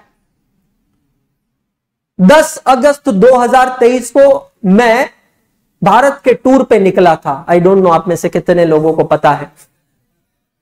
खुद ने प्लान किया था, खुद ने खर्चा किया था, साढ़े तीन लाख रुपए। ट्रैवल एजेंसी हायर की थी। दिन भर ट्रैवल करता था, रात को फ्लाइट्स में सोता था। और उसमें से तो एक डेंजर फ़्लाइट निकली थी, कलकत्ता से पटना। भैया, वो ब्लॉग देखिएगा। हम तो बोले, बच्चों को मैसेज भेज दिए थे वहाँ से वीडियो मैसेज पटना वालों फ़ोटो देख लेना। भैया फ़्लाइट 1000 फीट नीचे I all of the sudden there was heavy turbulence vlog बना हुआ है उस पर अभी भी। 1000 feet sudden like in two seconds and हम लोग, हमारी सीट्स पे बैठे थे, हम करीबन करीबन छह फीट ऊपर उछले फ़्लाइट के अंदर, जब वो जर्क आया। तो bad turbulence I started my India tour with mission to spread awareness about chartered accountancy to spread awareness about the company where I was working as a director. My dear friends, I started my India tour on 10th of August from Bangalore, 11th Hyderabad, 12th I went to Kolkata, 13th Patna, 14th Chandigarh, 15th Jaipur, 16th Ahmedabad और 16 तारीख को रात को 9 बजे मैं घर पे पहुँचा इन पूरे दिनों में मैं क्लासेस नहीं ले सका इन पूरे दिनों में मैं जा रहा था, बच्चों से पेरेंट्स से मिला, हज़ारों बच्चों से मिला मैं। वो मेरी ज़िंदगी के सबसे सबसे प्रेशियस मोमेंट्स थे। मुझे नहीं पता था कि मेरी ज़िंदगी बस कुछ घंटों बाद मुझे कुछ अलग समय दिखाने वाली।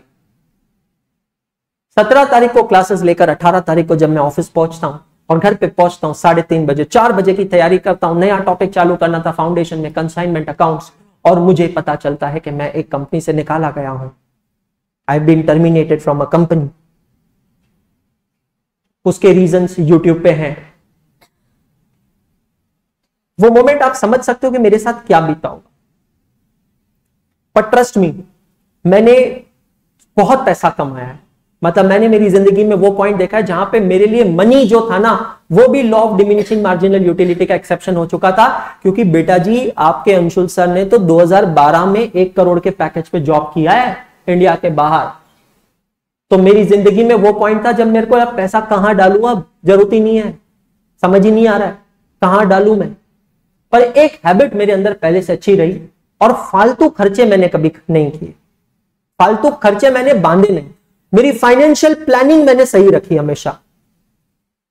और मुझे इस फाइनेंशियल प्लानिंग में साथ दिया मेरी बेटर हाफ़ ने, Swati ma'am. She is very good financial advisor मैं अभी बता रहा हूँ मेरी पॉकेट चेक कर लो एक रुपया नहीं मिलेगा। I don't keep even single rupee cash बुरी आदत है मुझे पता है कभी कभी उसका नुकसान होता है।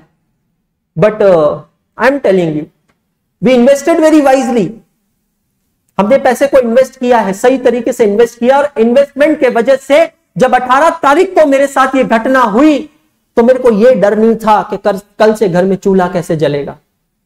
बच्चे तो अपने रिफंड को लेकर रो रहे थे। आपको पता है, आज इस पॉइंट तक मेरे ड्यूज क्लियर नहीं हुए हैं। मुझे अपना पैसा नहीं मिला है। आज इस पॉइंट पे जब हम बात कर रहे हैं, अभी तक नहीं मिला है। बच्चे अपने तीन हज़ार, चार हज़ार के रिफंड की बात करते हैं। बच्चे बात करते हैं ज़ीरो माइल की। सर, हमने ज़ीरो माइल का सब्सक्रिप्शन लिया था, उसका टेस्ट का रिफंड नहीं मिला। भैया, मैंने तो पूरी कंपनी बनाकर बेची उनको। मुझे उसका पैसा ही नहीं मिला अभी तक। बट एक चीज़ जिसकी वजह से मैं टिक पाया, वो था रेजिस्टेंस फाइनेंशियल पोजीशन खर्चे कुछ लंबे बांधे नहीं और और सेविंग्स अच्छी खासी करके रखी 22 अगस्त, दो दिन मुझे लगे इन सब चीज़ों से बाहर आने में, दो दिन लगे और 22 अगस्त को मैंने फाइनली डिसाइड किया कि मैं अपना खुद का कुछ बनाऊँगा। तो 22 अगस्त को उन्होंने मुझे वापस ऑफ़िस में बुलाया जो हुआ भूल जाओ, आ जाओ वापस। मैंने कहा माफ़ कर दो। अब माफ़ कर दो। अब ना मैं आऊँगा, ना मेरा कोई बच्चा आएगा। बच्चों से मैंने नहीं कहा कि तुम मत रुको यहाँ पे। पर उसके बाद जो हुआ, वो पूरे हिंदुस्तान ने देखा। क्या हुआ और कैसे हुआ? तेईस अगस्त को जन्म हुआ एकाग्रता का।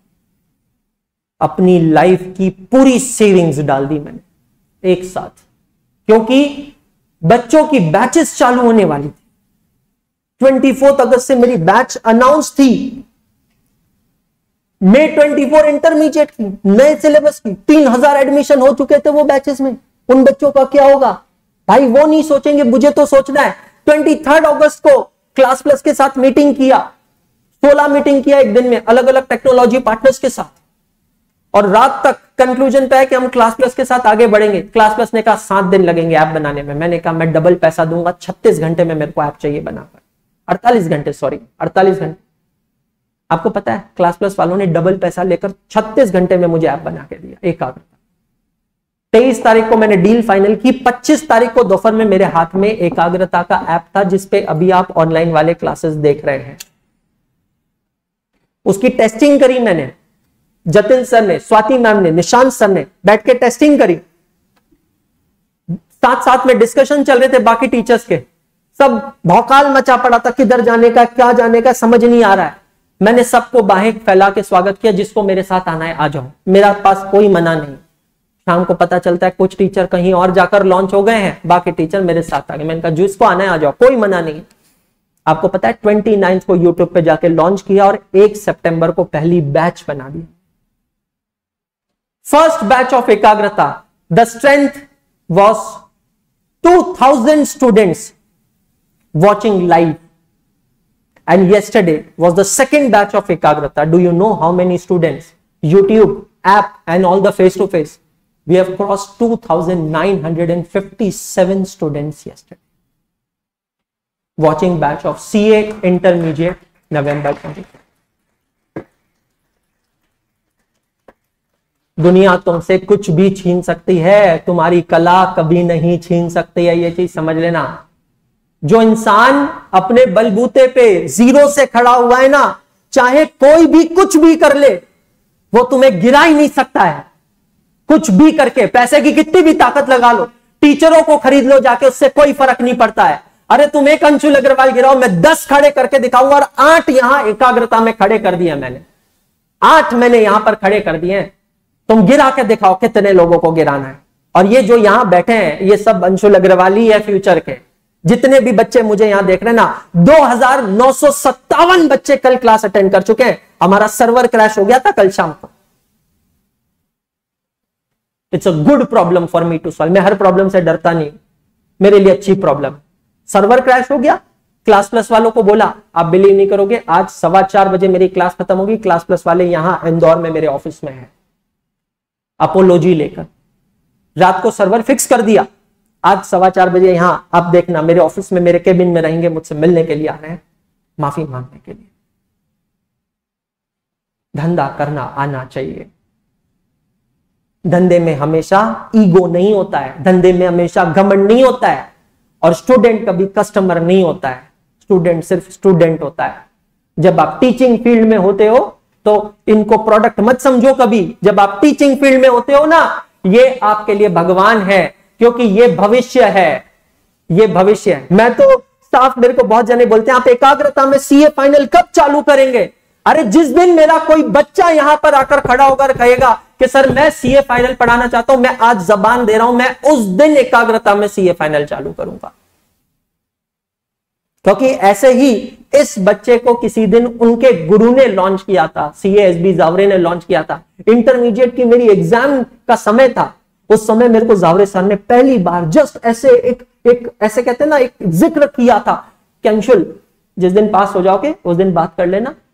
Maybe I can think to take you in academy माँ कसम, ऐसी आग लग गई ना उस दिन के अंदर। लोगों को चिंता होती है, साला सीए बनने के बाद नौकरी कहाँ मिलेगी? जॉब कहाँ करेंगे? मेरे सामने तो जॉब हाजिर है। अब मेरे माइंड में सिर्फ़ एक लक्ष्य है एक गोल है। क्या है? सीए बनना है। फ़र्स्ट अटेम्प्ट है। एक average student 72 percent in twelfth standard 92 percent in twelfth standard this average student became chartered accountants company secretary without any classes in first attempt. May 2011 ca and june 2011 cs first attempt. क्यों? क्योंकि जिसके गुरु ने ठप्पा लगा दिया है ना, कि तेरे में काबिलियत है, उसको किसी और के ठप्पे की ज़रूरत नहीं है। मैंने मेरे बच्चों को यही वादा किया जो बच्चे मुझसे अभी पढ़ के अभी आर्टिकलशिप कर रहे हैं, मैंने एक ही चीज़ बोली मैं सीए फाइनल चालू करूँगा। कब चालू करूँगा? जिस दिन तू सीए बन जाएगा ना, उस दिन। मैं आपकी जानकारी के ऑलरेडी तीन बच्चों को मेरे ऑफ़र दे चुका हूँ। ऑलरेडी तीन बच्चों को ऑफ़र दे चुका हूँ। बन के दिखा मुझे फ़र्स्ट अटेम्प्ट में सीए बन के दिखा। तू एकाग्रता में सीए फाइनल चालू करेगा। कोई क्वालिफाइड टीचर चालू नहीं करेगा, मेरा बच्चा चालू करेगा।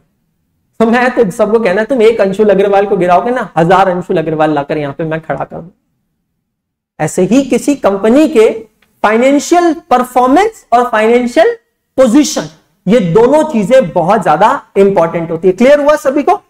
ब्रेक लेना है? थक गए? नहीं चले? कंटिन्यू करें? मज़ा आ रहा है? चलो, बहुत बढ़िया अमेजिंग अब आते हैं फाइनेंशियल स्टेटमेंट्स पे। फाइनेंशियल स्टेटमेंट्स की जब बात की जाए तो फाइनेंशियल स्टेटमेंट्स में आता क्या क्या है? Financial statements comprises of dash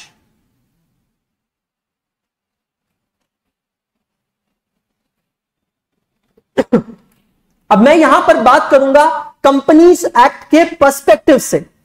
किसके पर्सपेक्टिव से? कंपनीज़ एक्ट क्योंकि हमारे सातों जो चैप्टर्स है ना, वो सातों चैप्टर्स कंपनीज़ के हैं।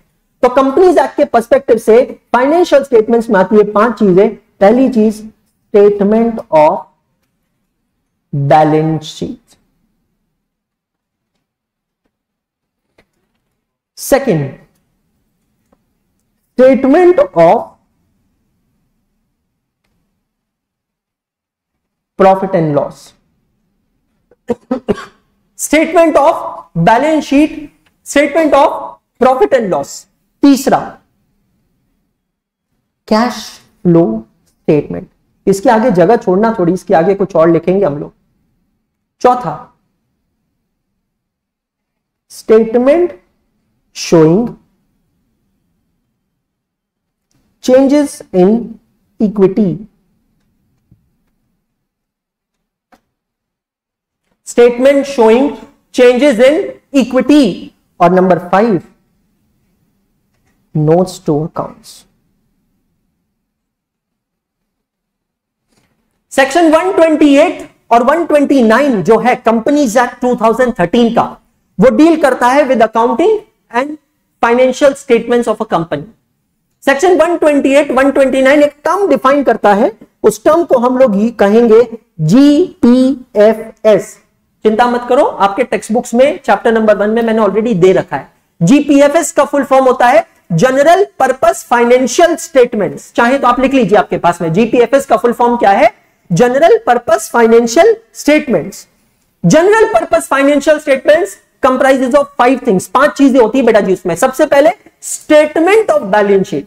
अब यहाँ पर बैलेंस शीट क्यों नहीं बोला? स्टेटमेंट ऑफ़ बैलेंस शीट क्यों बोला है? क्योंकि कंपनी एक्ट ने सारे फॉर्मेट जो है, हॉरिजॉन्टल फॉर्मेट्स दिए। अब बैलेंस शीट पीएनएल वो टी फॉर्मेट में नहीं बनता है। किस फॉर्मेट में बनता है? हॉरिजॉन्टल हॉरिजॉन्टल मतलब in the format of a statement दूसरा statement of profit and loss तीसरा कैश फ्लो स्टेटमेंट एक सेकेंड एक एक कर कर इनको समझते हैं कि इनका उद्देश्य क्या है ऑब्जेक्टिव क्या है. स्टेटमेंट ऑफ़ बैलेंस शीट हमें बताती है कंपनी के सॉल्वेंसी के बारे में. सॉल्वेंसी मतलब financial position financial position solvency का मतलब है कि कंपनी ने कितनी एसेट्स क्रिएट करी है. How many assets how much assets does a company has दूसरा statement of profit and loss ये हमें बताती है कंपनी के प्रॉफिटेबिलिटी के बारे में। कि कंपनी की प्रॉफिटेबिलिटी क्या है? एक बच्चा मुझसे पूछता है, कल एक बच्चे का मैसेज आता है, बच्ची मुझसे पूछती है कि, सर, मेरे सीए फाइनल सीए फाउंडेशन के सर चार अटेम्प्ट हो गए हैं, क्या मुझे देना चाहिए? क्या आंसर रहेगा आपका? आप लोग मुझे बताइए। अगर आपसे कोई आपका जूनियर ये एडवाइस माँगता है कि मेरे चार अटेम्प्ट हो चुके हैं फाउंडेशन के, मुझे आगे क्या करना चाहिए? क्या एडवाइस देंगे आप? क्यों?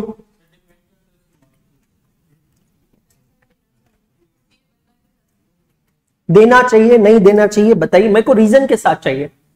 भाई देखो, ज़िम्मेदारी है अब आप लोगों पे। आपके जूनियर यहाँ बैठे हैं फाउंडेशन वाले। वो आपसे एडवाइस मांग सकते हैं। आपको पता नहीं है, पर कल जब मैं आपकी क्लास लेकर फाउंडेशन में गया ना, बच्चे मुझे पूछते हैं sir how was inter class inter के बच्चे कैसे दिखते हैं? देखो। मतलब क्यूरियोसिटी समझ रहे हो? सर ऐसा कोई सीन वीन तो नहीं होता इंटर के बच्चों के? No why they want to know please understand because आप जहाँ हो ना, वो उनका ऑब्जेक्टिव है एम है, सपना है। अरे, हर एक इंसान थोड़ी बैठ सकता है इस क्लास में, समझ रहे हो? क्या आंसर दोगे आप उसको? चार अटेम्प्ट हो चुके हैं, क्या करना चाहिए?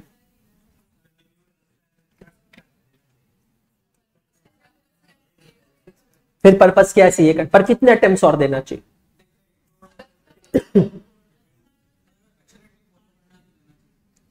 बहुत सिंपल है। मेरी ओपिनियन में किसी भी स्टूडेंट को तीन जेन्यून अटेम्प्ट देने चाहिए, उसके बाद छोड़ देना चाहिए। भाई CA is not heart of life it is just one part of life CA सिर्फ़ ज़िंदगी नहीं है। अरे जो सीए नहीं है, क्या वो कमाता नहीं है? क्या वो जीता नहीं है? इसकी शादी बच्चे नहीं होते हैं? सब होते हैं। आखिर कितना समय व्यर्थ करोगे एक ही डिग्री में? अगर तीन चार अटेम्प्ट देकर किसी बच्चे का नहीं निकल रहा है, देखो एक्सेप्शन हो सकते हैं। मेरा यह मानना है कि फिर ज़िंदगी के और समय वेस्ट नहीं करने चाहिए। वैसे ही, अगर तीन साल, चार साल या पाँच साल में भी कोई कंपनी प्रॉफिटेबिलिटी को अचीव नहीं कर पा रही तो भाई साहब बंद कर दो ना। अगर तुम बंद नहीं करोगे तो तुम हज़ारों करोड़ों लोगों का नुकसान करके बंद करोगे मतलब देश की अर्थव्यवस्था को चोट पहुंचाओगे तुम। ये बात निश्चित है, ये बात मान के चलो। एक समय था कि इंडियन स्टार्टअप्स को अप्रिशिएट किया जाता था, लेकिन बीच में जो एक दो कंपनीज़ के आईपीओ आए, जो फेल हुए हैं बुरी तरह, वो फेल होने की वजह से इंडियन स्टार्टअप्स कम्युनिटी को कोसा जा रहा है। इंडिया में जो स्टार्टअप्स है, आपको पता है, उसमें मैक्सिमम फॉरेन फंडिंग आती है। फॉरेन फंडिंग में भी अमेरिका से आती है और यूरोप से आती है। इन फॉरेन इन्वेस्टर्स के बीच में इंडिया की एक बहुत ही ब्यूटीफुल इमेज बनी हुई थी, स्टार्टअप्स की। Indian startups are very fast growing. आपको पता है अभी इमेज खराब हो गई कुछ स्टार्टअप्स के वजह से। मेरे को तो कभी कभी लगता है कि सरकार को सरकार को इन लोगों को एक लिमिट दे देनी चाहिए, एक अपर लिमिट होनी चाहिए इस बार इंस्टीट्यूट ने अच्छा किया है। आई डोंट नो आपको पता है कि नहीं? आईसीआई ने लिमिट लगा दी है नंबर ऑफ़ अटेम्प्ट की। नंबर ऑफ़ अटेम्प्ट को डिफाइन किया है नंबर ऑफ़ ईयर्स में। कि आप फाउंडेशन का रजिस्ट्रेशन एक ही बार कर सकते हो। चार साल तक वैलिड है। अगर चार साल में क्लियर नहीं हुए, ज़िंदगी में फाउंडेशन कभी नहीं दे सकते हो। You can not extend your registration आप समझ रहे हो? अभी प्रेजेंट ओल्ड सिलेबस में रूल था तीन साल का। लेकिन तीन साल के बाद आप रिवैलिडेट कर सकते हो। लेकिन अब नहीं कर सकते हो। इंस्टीट्यूट ने बहुत अच्छा डिसीज़न लिया। क्यों किसी की ज़िंदगी खराब कर रहे हैं भाई? अगर चार अटेम्प्ट किसी को हो गए मैं तो पूछूँगा भी नहीं तेरे मार्क्स कितने। मत दे भाई। कुछ और कर ले। तेरी उम्र बढ़ रही है। तेरी जरूरतें बढ़ रही है। परिवार को तेरी ज़रूरत है। कुछ और करके कमाने तो लगेगा। सीए में अपनी ज़िंदगी व्यर्थ मत कर। समझ में आ रहा है? ये बहुत इंपॉर्टेंट है। स्टेटमेंट ऑफ़ बैलेंस शीट से हमें पता चलता है कंपनी की क्या है, सॉल्वेंसी क्या है, एसेट्स कितनी है। Statement of profit and loss से हमें क्या पता चलता है, कंपनी की प्रॉफिटेबिलिटी कितनी है। कैश फ्लो स्टेटमेंट से हमें पता चलता है कि कंपनी के पास लिक्विडिटी कितनी है। लिक्विडिटी मतलब क्या? Assets held in the form of cash and cash equivalents ये डेफिनेशन हम देखेंगे दो दिन बाद कैश एंड कैश इक्विवेलेंट्स के फॉर्मेट में। Statement showing changes in equity ये हमें बताता है कंपनी के शेयर होल्डिंग पैटर्न के बारे में। यार एक बात बताओ। भगवान ना करे ऐसा हो बट कल चल के अगर ऐसा होता है कि एक न्यूज़ आती है कि मुकेश अंबानी जी ने अपने रिलायंस के सारे शेयर्स बेच दिए। आपको नहीं लगता रातों रात लोगों का रिलायंस कंपनी पे से भरोसा उठ जाएगा? क्यों उठ जाएगा? बिकॉज़ आज लोग रिलायंस को अंबानी के वजह से जानते हैं। मुकेश अंबानी जी की एक गुडविल है। आज मुकेश अंबानी जी ने जितनी भी कंपनीज़ में इन्वेस्ट किया है ना आपको पता है उसके वजह से हज़ारों लोगों ने उन कंपनियों में इन्वेस्ट किया है। किस एक इंसान के वजह से, मुकेश अंबानी जी के वजह से। कंपनीज़ एक्ट कहता है कि हर कंपनी को हर साल एक स्टेटमेंट बनाना होगा, जिसका नाम है statement showing changes in equity जहाँ पर आपको यह बताना होगा कि who all are your share holders in the current year versus last year is there any change in the share holding pattern major change which can impact the decision of user of financial statement and then notes to account जो होते हैं, यहाँ पर आप mention करते हैं accounting policies what all are the accounting policies that you guys have adopted in in uh, preparation and presentation of financial statements financial statements बनाने के लिए आपने क्या क्या accounting policies को adopt किया है फॉलो किया वो सब आप लोग कहाँ पर देखते हैं बेटा जी नोट्स टू अकाउंट्स में देखते हैं are you getting my point all of you समझ में आ रहा है सब लोगों को नाउ माई डियर फ्रेंड्स एक चीज़ तो हमें समझ में आ गई कि हमें बनाने हैं फाइनेंशियल स्टेटमेंट अब एक क्विक रिकैप करते हैं सीए फाउंडेशन में जो हमने अकाउंटिंग पढ़ा है उसका, जो डायरेक्ट एंट्री वाले हैं, आप लोग भी फोकस करना है ये टॉपिक कहीं ना कहीं आप लोगों ने पढ़ रखा है।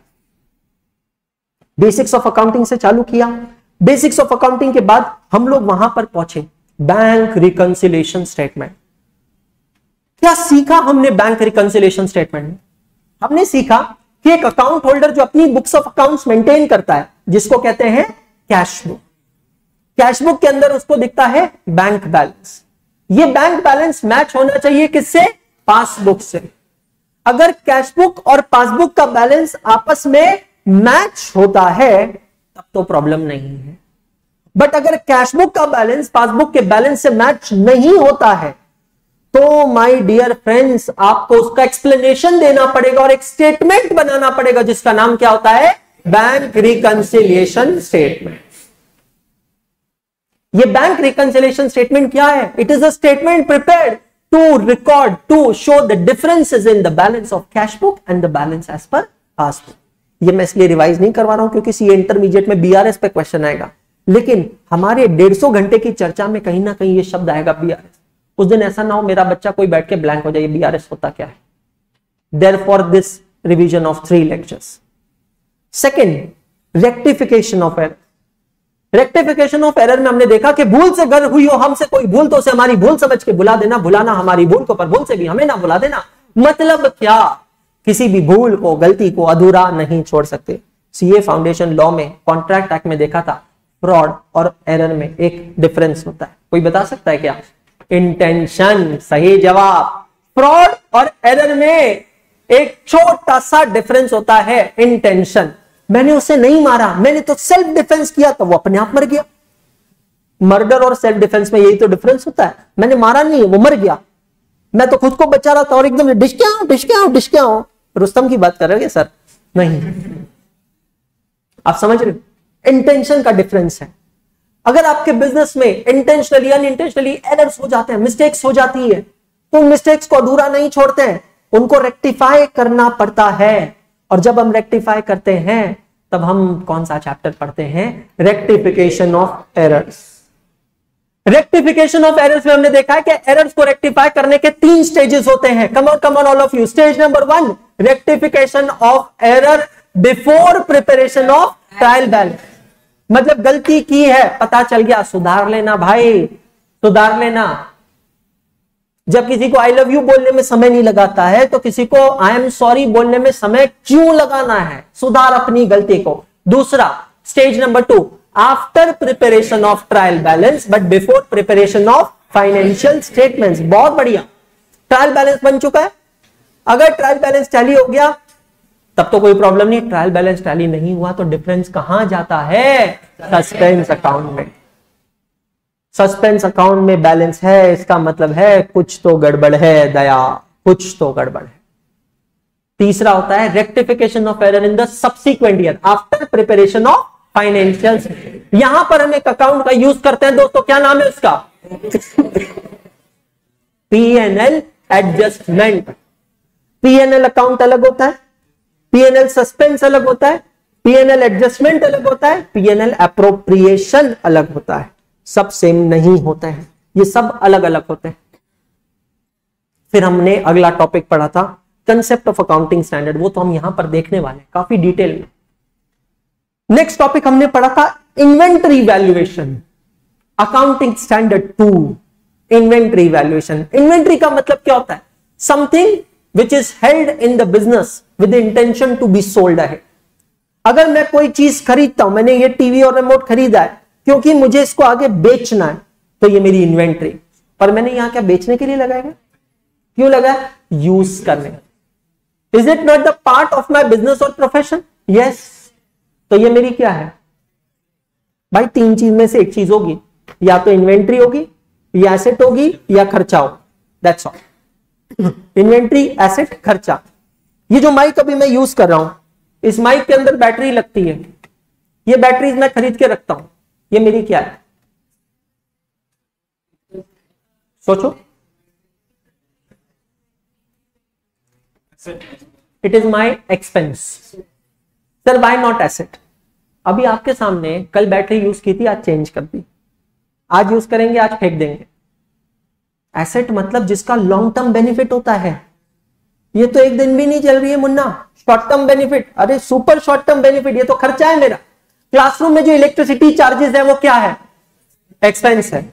ये जो बिल्डिंग है, वो क्या है? एसी क्या है? आसेट क्या होता भाई? आसेट कौन बोला? किसका आ टक गया बीच में, है? आज प्रैक्टिस करो। आ ए बहुत बढ़िया। ये प्रोजेक्टर क्या है? ये माइक क्या है? जतिन नेमला क्या है? लाइबिलिटी कौन बोला भाई? समझ रहे हो?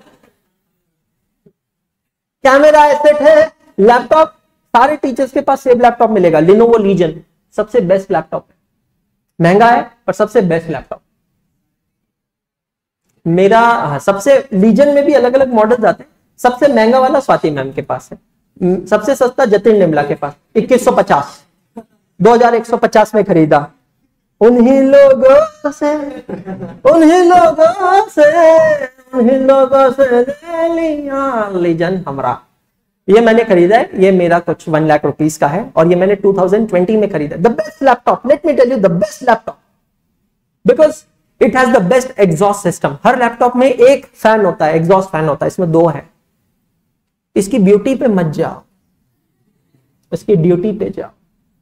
ब्यूटी बहुत थर्ड क्लास है, बहुत हैवी जिम जाने की ज़रूरत नहीं लैपटॉप उठा के डंबल मार लो, खत्म।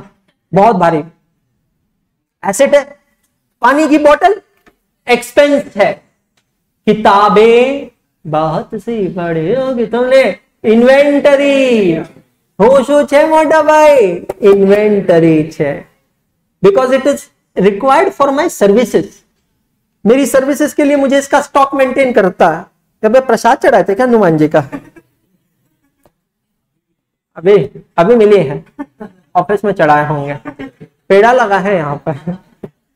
पहले होता है बुक को पहले दिन भगवान के सामने रखते हैं, अगरबत्ती अगर वहाँ ये भगवान, ये वही किताबें हैं जिसका कंटेंट मेरे अंदर जाएगा। रात को तकिए के नीचे लेकर सोते हैं, सुबह तक सब अंदर। बहुत बढ़िया। तो या तो कोई चीज़ मेरी इन्वेंट्री होगी, या मेरा खर्चा होगा, या मेरी क्या होगी? एसेट होगी यार as simple as that inventory valuation के अंदर हमने समझा था कि क्लोजिंग स्टॉक और प्रॉफिट का कैसा रिलेशनशिप होता है। अबे बोलो, ना कहता होता है we are just good friends closing stock और प्रॉफिट का डायरेक्ट रिलेशनशिप क्यों? समझना. इसीलिए तो बेसिक्स ऑफ़ अकाउंटिंग करो. मुझे आप पे पूरा भरोसा है रे पगले. मुझे खुद से ज़्यादा भरोसा आप पे आधी रात को नींद से उठाकर मेरे को पूछोगे ना, बच्चों, वो कितना था? मैं बोलूँगा, कुछ नहीं. इतना भरोसा है आप चिंता मत करो. ठीक है? अब मैं मज़ाक कर रहा था. दिल पे मत लेना भाई. ठीक है? लेना तो ले लो, कोई प्रॉब्लम नहीं. सपोज़ ये हमारा ट्रेडिंग अकाउंट है, ठीक है? ट्रेडिंग अकाउंट के डेबिट में लिखते हैं ओपनिंग स्टॉक बराबर है? फिर लिखते हैं परचेजेस और क्या अरे कितनी उबासी लोग है भैया, सुबह से छह तो ले चुके काउंट कर रहा हूँ मैं यहाँ पे खड़ा खड़ा। भाई, एक आप और एक ये चश्मे वाले भैया। कंपटीशन लगा रखे हो दोनों ने। कभी इनकी फाटक खुलती है, उनकी बंद हुई के भैया की फाटक चालू। और इतने गर्व से ले रहे हैं, हम तो भी हमारे जमाने में थोड़ा शर्माते थे, थोड़ा घबराते थे, उबासी आता था तो मास्टर ना देख ले, ये तो ऐसा राष्ट्र उबासी समझ के उबासी ले रहा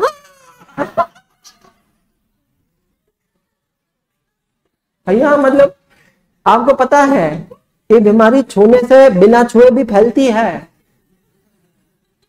हमारे नज़रिए से जरा देखिए, अगर क्लास में अगर सबने उबासी लेना चालू किया, हमारे नज़रिए से देखिए का माहौल हो जाएगा यहाँ। इधर से जो फाटके खुलना चालू होंगे। ऐसा घूम के वहाँ से फिर हमारे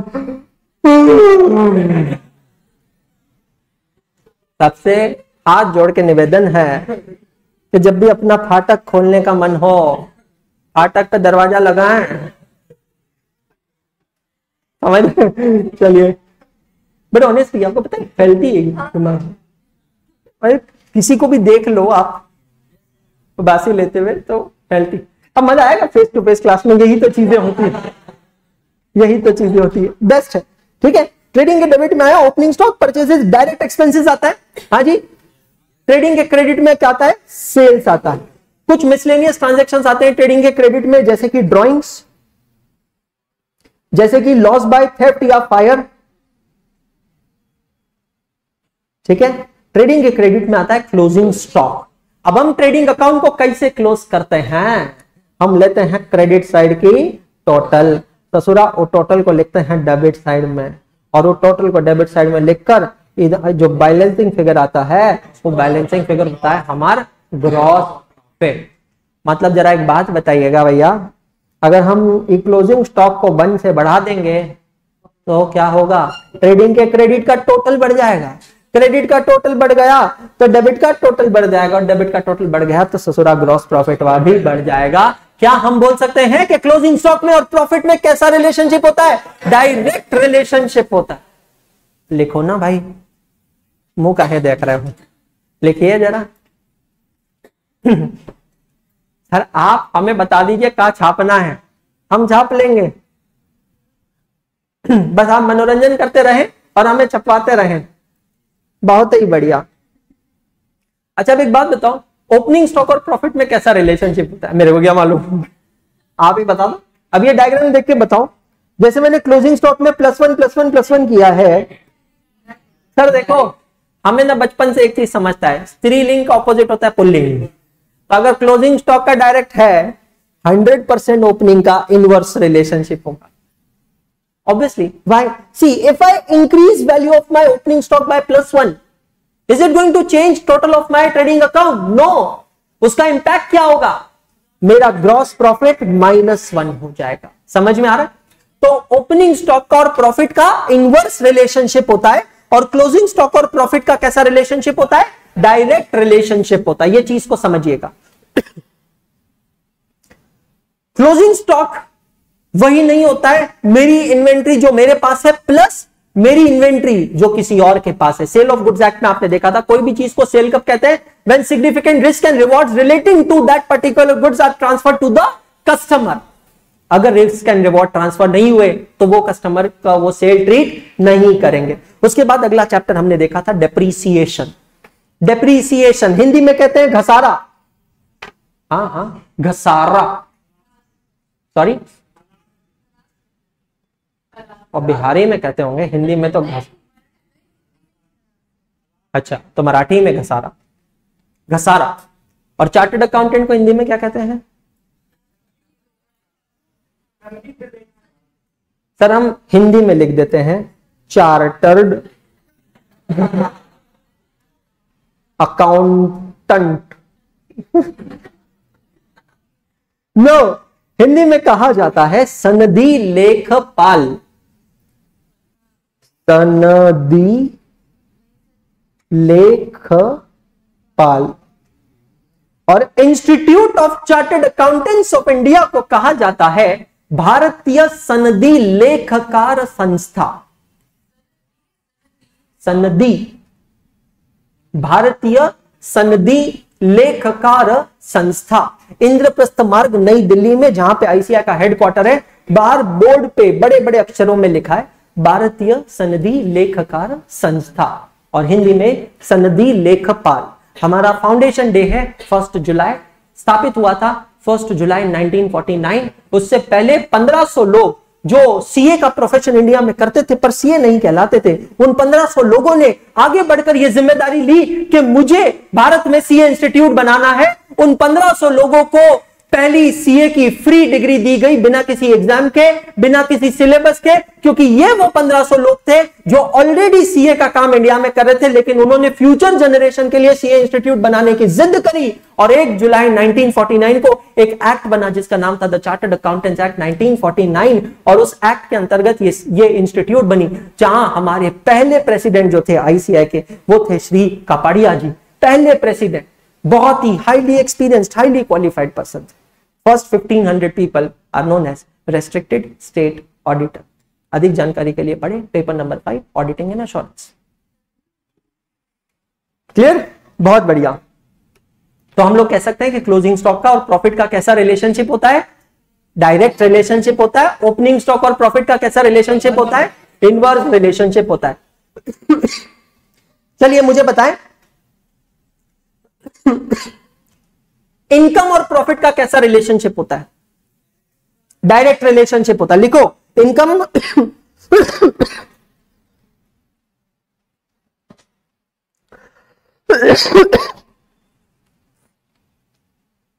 इनकम और प्रॉफिट का डायरेक्ट रिलेशनशिप। अगर मेरी इनकम बढ़ेगी तो मेरा प्रॉफिट बढ़ेगा। मेरी इनकम घटेगी तो मेरा प्रॉफिट घटेगा। अगला, लिखो, एक्सपेंस और प्रॉफिट का कैसा रिलेशनशिप होता है? इनवर्स। अगर मेरे एक्सपेंसेस बढ़ेंगे तो मेरा प्रॉफिट कम होगा। और अगर मेरे एक्सपेंसेस कम होंगे तो मेरा प्रॉफिट कैसा होगा? बढ़ेगा इंक्रीज होगा। Inverse relationship you're absolutely correct correct what is the meaning of direct expense and indirect expense तो श्री अमिताभ बच्चन जी का डायलॉग है, भागबान मूवी का। भाई साहब, एक तो भागबान मूवी बड़ी डेंजरस है। घर में जब भी पिक्चर चले, भाग जाया करो घर से।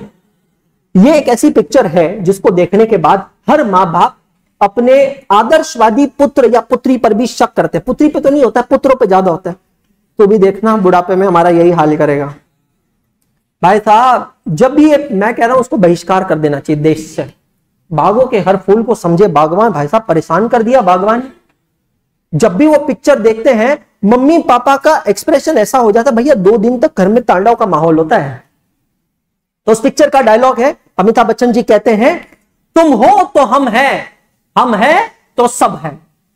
तुम नहीं तो हम नहीं हम नहीं तो कुछ भी नहीं, कुछ भी नहीं। लास्ट में डायलॉग होता है जब उनका वो बुक्स का एक सेरेमनी होती है, एक फेलिसिटेशन इवेंट होता है तब। डायरेक्ट एक्सपेंसेस के लिए कहा है अमिताभ बच्चन जी ने आपको पता है कि तुम हो तो हम हैं। मतलब ये ससुरा डायरेक्ट एक्सपेंस होगा तो ही ये प्रोडक्ट बनेगा और हम है तो सब है। मतलब अगर ये प्रोडक्ट बनेगा तो ही तो दुकान चलेगा। अगर तुम नहीं तो हम नहीं, और हम नहीं तो कचो नहीं। मतलब क्या? Direct expenses are those expenses which has one on one relationship with the product जिसके बिना प्रोडक्ट बनाना नामुमकिन है। Factory rent direct expenses royalty paid direct expenses what is the meaning of royalty अगर मैं किसी और की चीज़ को, किसी के ज्ञान को, किसी के टैलेंट को, किसी के फॉर्मूला को यूज़ कर कर, इस्तेमाल कर कर कुछ बनाना चाहता हूँ तो उसको कहते हैं रॉयल्टी पार्ले जी, वो पार्ले जी की जो कंपनी है, मैडम देखिए। Parle G Parle G company के बिस्किट्स जो बनाती है, उसका नाम है Shiv Shakti food private limited. Shiv Shakti food private limited Parle G नहीं है। पार्ले जी तो एक मार्केटिंग कंपनी है, जिसने एक ब्रांड बनाया है। वांटी जी का फ़ोटो लगाकर एक ब्रांड बिल्ड किया इतने सालों से। बिस्किट बनाने वाली है Shiv Shakti food company. Shiv Shakti food Parle G के बिहाफ पे बिस्किट बनाती है, जो पार्ले जी के पास फॉर्मूला है। जो पेटेंट है, उसके बेसिस पर शिव शक्ति फूड्स को उसके लिए क्या देना पड़ता है? रॉयल्टी देनी पड़ती।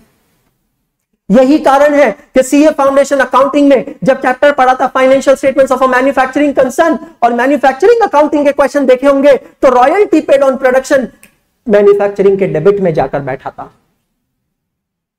हायर चार्जेस ऑन मशीनरी मतलब मशीन का किराया डायरेक्ट एक्सपेंस है। प्राइमरी पैकेजिंग ये पानी पानी की ये जो बॉटल है, ये क्या है? प्राइमरी पैकेजिंग है। समझ में आ रहा है? जो दूध पैकेट में आता है पॉली बैग में आता है प्राइमरी पैकेजिंग है। सेकेंडरी पैकेजिंग मतलब क्या? इसके अलावा, अब ये जो कार्टन बॉक्स में आता है secondary packaging primary packaging is direct secondary packaging is indirect indirect मतलब क्या? जो सपोर्ट के लिए होता है सपोर्ट फ़ंक्शन होता है शॉप रेंट काहे ज़रूरत है शॉप की? इस सड़क पर बेचकर भी तो सामान बेच सकत हो। है ना? फैक्ट्री रेंट डायरेक्ट हो गया। क्योंकि सड़क पर बना नहीं सकते। बनेगा कहाँ पे? फैक्ट्री रेंट शॉप रेंट क्या हो गया? Indirect depreciation on plant and machinery is a direct expense manufacturing expense depreciation on office is an indirect expense carriage right wages salaries indirect समझ में आ रहा है? वैसे ही direct income and indirect income what is direct income which is earn from the principal business activity और allied activities allied मतलब related activities Ekagrata collects the fees from the student isn't it direct income sale of book से जो पैसा आता है वो क्या है? डायरेक्ट है. मैंने क्या कहा? प्रिंसिपल बिज़नेस एक्टिविटी और अलाइड अलाइड का मतलब क्या है? Related is this book not relating to my main profession? The answer is yes. It is direct. But suppose कल चल के एकाग्रता पानी पूरी का ठेला लगा दे। होगा नहीं, सर? सपोज़ लगा ले आपको भी ऐसे आगे उससे पैसा कमाए। बहुत पैसा है पानी पूरी के बिज़नेस में बता कौन सी कौन सी इनकम होगी? इनडायरेक्ट ऐसा बाहर मस्त सैंडविच का ठेला। आलू, ले लो। कौन सी मूवी का? कांदे, ले लो। वेलकम क्या नाम था उसका? उदय शेट्टी। उदय शेट्टी। नहीं, ये उदय शेट्टी का डायलॉग है भाई। उसको पिक्चर में बिज़ी करते हैं जब। समझ में आ रहा है? इनडायरेक्ट इनकम डायरेक्ट इनडायरेक्ट का फ़र्क समझ में आया? डायरेक्ट है इनडायरेक्ट इनकम ये समझना ज़रूरी। अब हम आते हैं एसेट्स पे। एसेट्स की कुछ टर्म्स को समझ। याद हो रहा है? सबका रिवीजन हो रहा है फाउंडेशन या बेसिक्स ऑफ़ अकाउंटिंग का। लग रहा है ज़रूरत थी इसकी। है ना? बहुत ज़रूरत थी। चलिए एसेट्स के कुछ अलग अलग वर्ड्स को समझते हैं। ओके सबसे पहले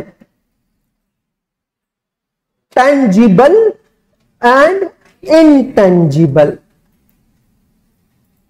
बहुत बढ़िया। Very good Sameer, Ritika, Kartika, Milan, Anmol, Shashank, Raman, Jasmeet. Very good tangible intangible tangible का मतलब क्या? जिसको हम देख सकते हैं। महसूस कर सकते हैं। टेंजिबल ऐसा ही, ऐसे तो है, जिसको हम देख सकते हैं, ऐसे तो बोला मैंने।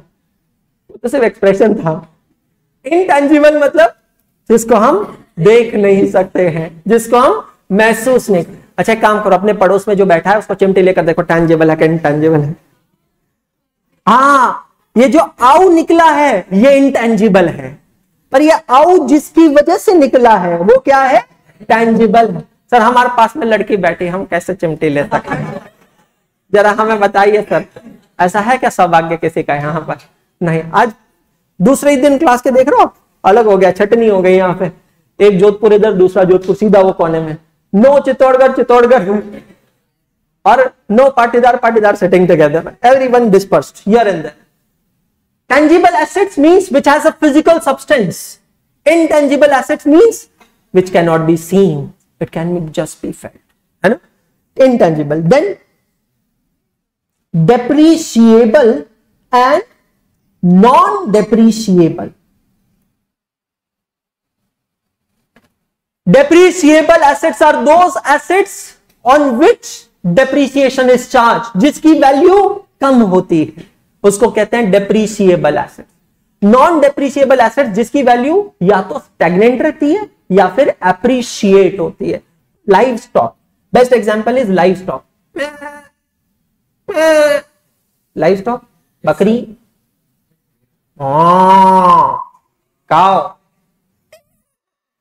Horse livestock livestock accounting standard ten में हम लोग पढ़ेंगे. Livestock is a non depreciable asset हाँ जी. ये देखो अच्छे बच्चे कह रहे हैं land is also non depreciable asset very good very good बधाई ओके लाइफ स्टॉक क्यों? Because they are subject to reproduction plantations, it is non depreciable asset. Because they are also subject to growth. Growth होती है. Non depreciable asset. Building, depreciable asset. आपको पता है income tax आप पढ़ोगे computers और laptops पे 60 परसेंट डेप्रीसिएशन चार्ज होता है. Six zero sixty percent why because change in technology की वजह से बहुत रैपिडली उसकी वैल्यू कम होती जाती है। Therefore it is subject to higher rate of depreciation So depreciable, non-depreciable. Next is non-current जिसका पुराना नाम है fixed oblique current assets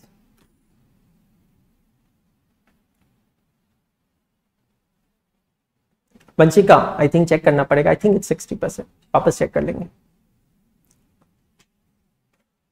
non current जिसको पहले कहते थे फिक्स्ड एसेट्स कंपनीज़ एक्ट ने उसका नाम चेंज कर दिया non current assets non current assets are those assets whose economic life is more than 12 months beyond 12 months जिसकी इकोनॉमिक लाइफ 12 मंथ से कम होती है, उसको कहते हैं करंट एसेट्स अब आपको मैं एक चीज़ बताऊँ इंटरेस्टिंग फैक्ट ये है कि किसी भी अकाउंटिंग स्टैंडर्ड में ये 12 महीने लिखा नहीं है।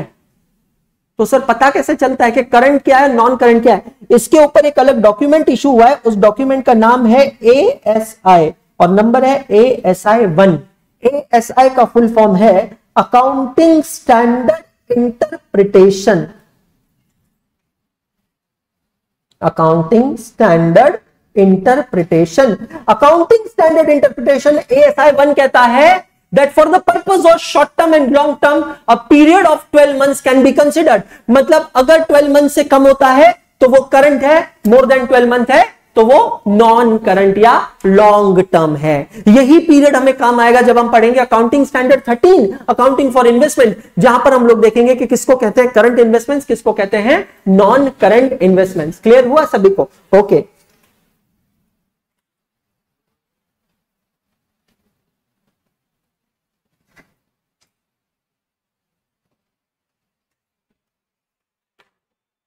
An asset can be monetary asset और नॉन मॉनिटरी एसेट शायद कुछ लोगों के लिए नया हो। What is the meaning of monetary asset cash flow statement में ये टर्म काम आने वाला है।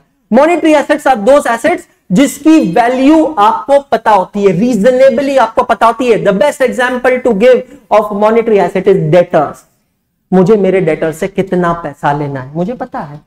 Non monetary assets short term investments मेरे पास शॉर्ट टर्म इन्वेस्टमेंट्स है। मार्केट में बेचूँगा कितना पैसा मिलेगा? मुझे पता नहीं है नॉन मॉनेटरी एसेट्स तो मेरी बुक का चैप्टर नंबर वन जो है कैश फ्लो स्टेटमेंट उसको पढ़ना चालू कर दो थ्योरी पेजेस पढ़ना चालू कर दो। आज और कल का दिन है आपके पास। आज कुछ पेजेस पढ़ लो, कल कुछ पेजेस पढ़ लो। धीरे धीरे करके टर्म समझ में आने लगेंगे। Monetary assets and non monetary assets similarly let us also deal with liabilities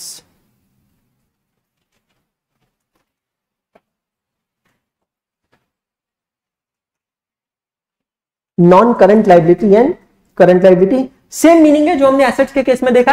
है liability which is payable to be settled within twelve months from the year ending date मतलब जिसको हम टेक्निकली कहते हैं रिपोर्टिंग डेट रिपोर्टिंग डेट मतलब thirty first March जो company April to March follow करती है। तो liability which is settled within twelve month suppose कीजिएगा फाइनेंशियल ईयर एंड हो रहा है thirty first March two thousand twenty four को। अगर मुझे किसी लाइबिलिटी का payment thirty first March twenty five तक करना है तो वो कहलाएगी शॉर्ट टर्म लाइबिलिटी अगर मुझे उस लाइबिलिटी का payment thirty first March twenty five के बाद करना है तो वो कहलाएगी लॉन्ग टर्म लाइबिलिटी इस पे एग्ज़ाम में क्वेश्चन आ चुका है. मेरी बुक में भी क्वेश्चन है. Chapter number six financial statements में. दस लाख रुपए का लोन है. छह छह महीने से एक एक लाख रुपए की इंस्टॉलमेंट भरनी है. आपको बताना है कि शेड्यूल थ्री की बैलेंस शीट में how much amount will be classified as current liability how much amount will be classified as non current liability मतलब जो कंसेप्ट में अभी आपको सिखा रहा हूँ, दोस्त, इसको हल्के में मत लेना। आपके और मेरे दोनों के पास इतना टाइम नहीं है कि हम यहाँ बैठकर दो दो घंटे के तीन लेक्चर्स को वेस्ट करें। ये वेस्ट डिस्कशन नहीं है, ये बहुत इंपॉर्टेंट डिस्कशन है। और पता भी नहीं चलेगा एकदम से उड़न चू चैप्टर भी चालू हो गया हमारा कैश फ्लो स्टेटमेंट इसलिए कह रहा हूँ फोकस बनाए रखना। Okay okay liabilities can be internal liability external liability. What is the meaning of internal liability? The liability to be paid within the company है ना within the company within the organization. Loan from director what type of liability? Internal liability. Loan from bank external. My dear friends capital itself is a liability do you agree with me capital itself is the liability but it is which type of liability internal liability and debentures is an external liability इस चीज़ का ध्यान रखना है। My dear friends हम लोग अगर modern approach of accounting की बात करें तो मॉडर्न अप्रोच ऑफ़ अकाउंटिंग के हिसाब से अकाउंटिंग इक्वेशन क्या बनता है? Accounting equation it is equal to capital plus liabilities equal to assets. Do you agree with me? Capital plus liabilities equal to assets. अब यहाँ पर जब मैं लाइबिलिटीज की बात करता हूँ तो मैं कौन से लाइबिलिटीज की बात कर रहा हूँ? मैं यहाँ पर एक्सटर्नल लाइबिलिटी की बात कर क्योंकि कैपिटल भी, जैसे मैंने अभी आपको एक्सप्लेन किया है कैपिटल भी एक लाइबिलिटी है। वो कौन सी लाइबिलिटी है? इंटरनल लाइबिलिटी इस शब्द को मैं लेता हूँ और थोड़ा इसको खींचता हूँ। Capital capital is also known as capital invested capital is also known as capital employed याद आ रहा है? पार्टनरशिप में देखा है ये टर्म आप लोगों ने। है ना? जब हम गुडविल का वैल्यूएशन करते थे under capitalization method of goodwill तो हम लोगों ने देखा था एक term capital employed capital is also known as equity also known as owner's equity capital is also known as by the name of net worth ये सारे शब्द शार्क टैंक इंडिया में सुनने को मिलेंगे आपको आज आप समझेंगे कि इन शब्दों का एक्चुअली मतलब क्या है। Capital in the sense of company is also known as shareholder fund capital is also known as formula wise share capital plus reserve and surplus share capital plus reserve and surplus समझ में आ रहा? जब मैं use करता हूँ word share capital तो ये शेयर कैपिटल शब्द का मतलब होता है equity share capital plus preference share capital are you getting my point जब मैं वर्ड करता हूँ यूज़ रिज़र्व तो रिजर्व्स का मतलब होता है capital reserves as well as revenue reserve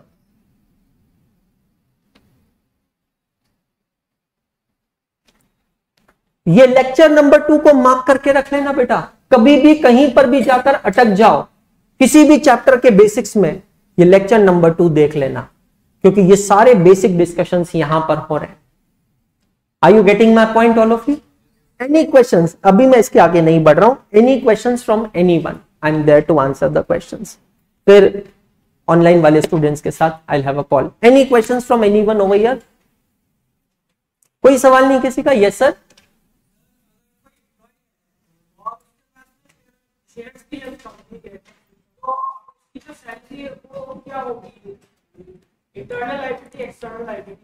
पहली बात सैलरी लाइबिलिटी नहीं है सैलरी खर्चा है।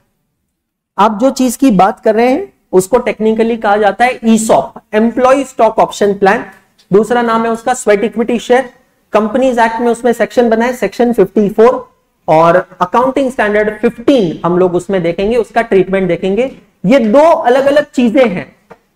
क्या आपकी वाइफ आपकी सबसे अच्छी दोस्त नहीं हो सकती? मतलब ऐसा लगे कि वाइफ अलग होनी चाहिए और दोस्त अलग होनी चाहिए। नहीं। वैसे ही एक एम्प्लॉय शेयर होल्डर भी तो हो सकता है।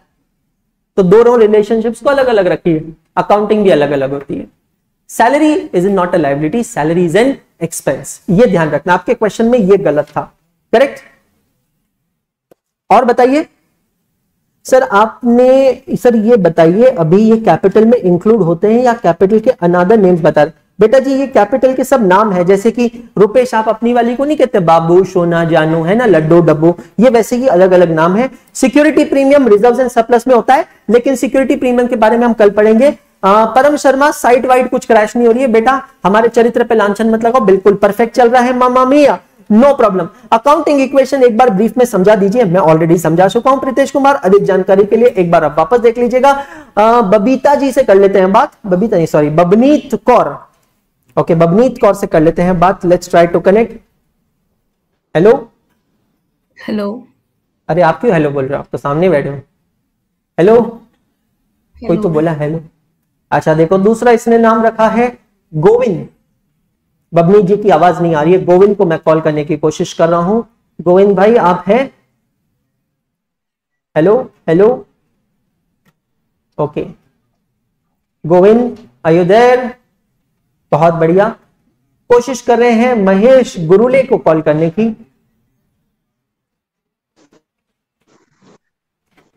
हेलो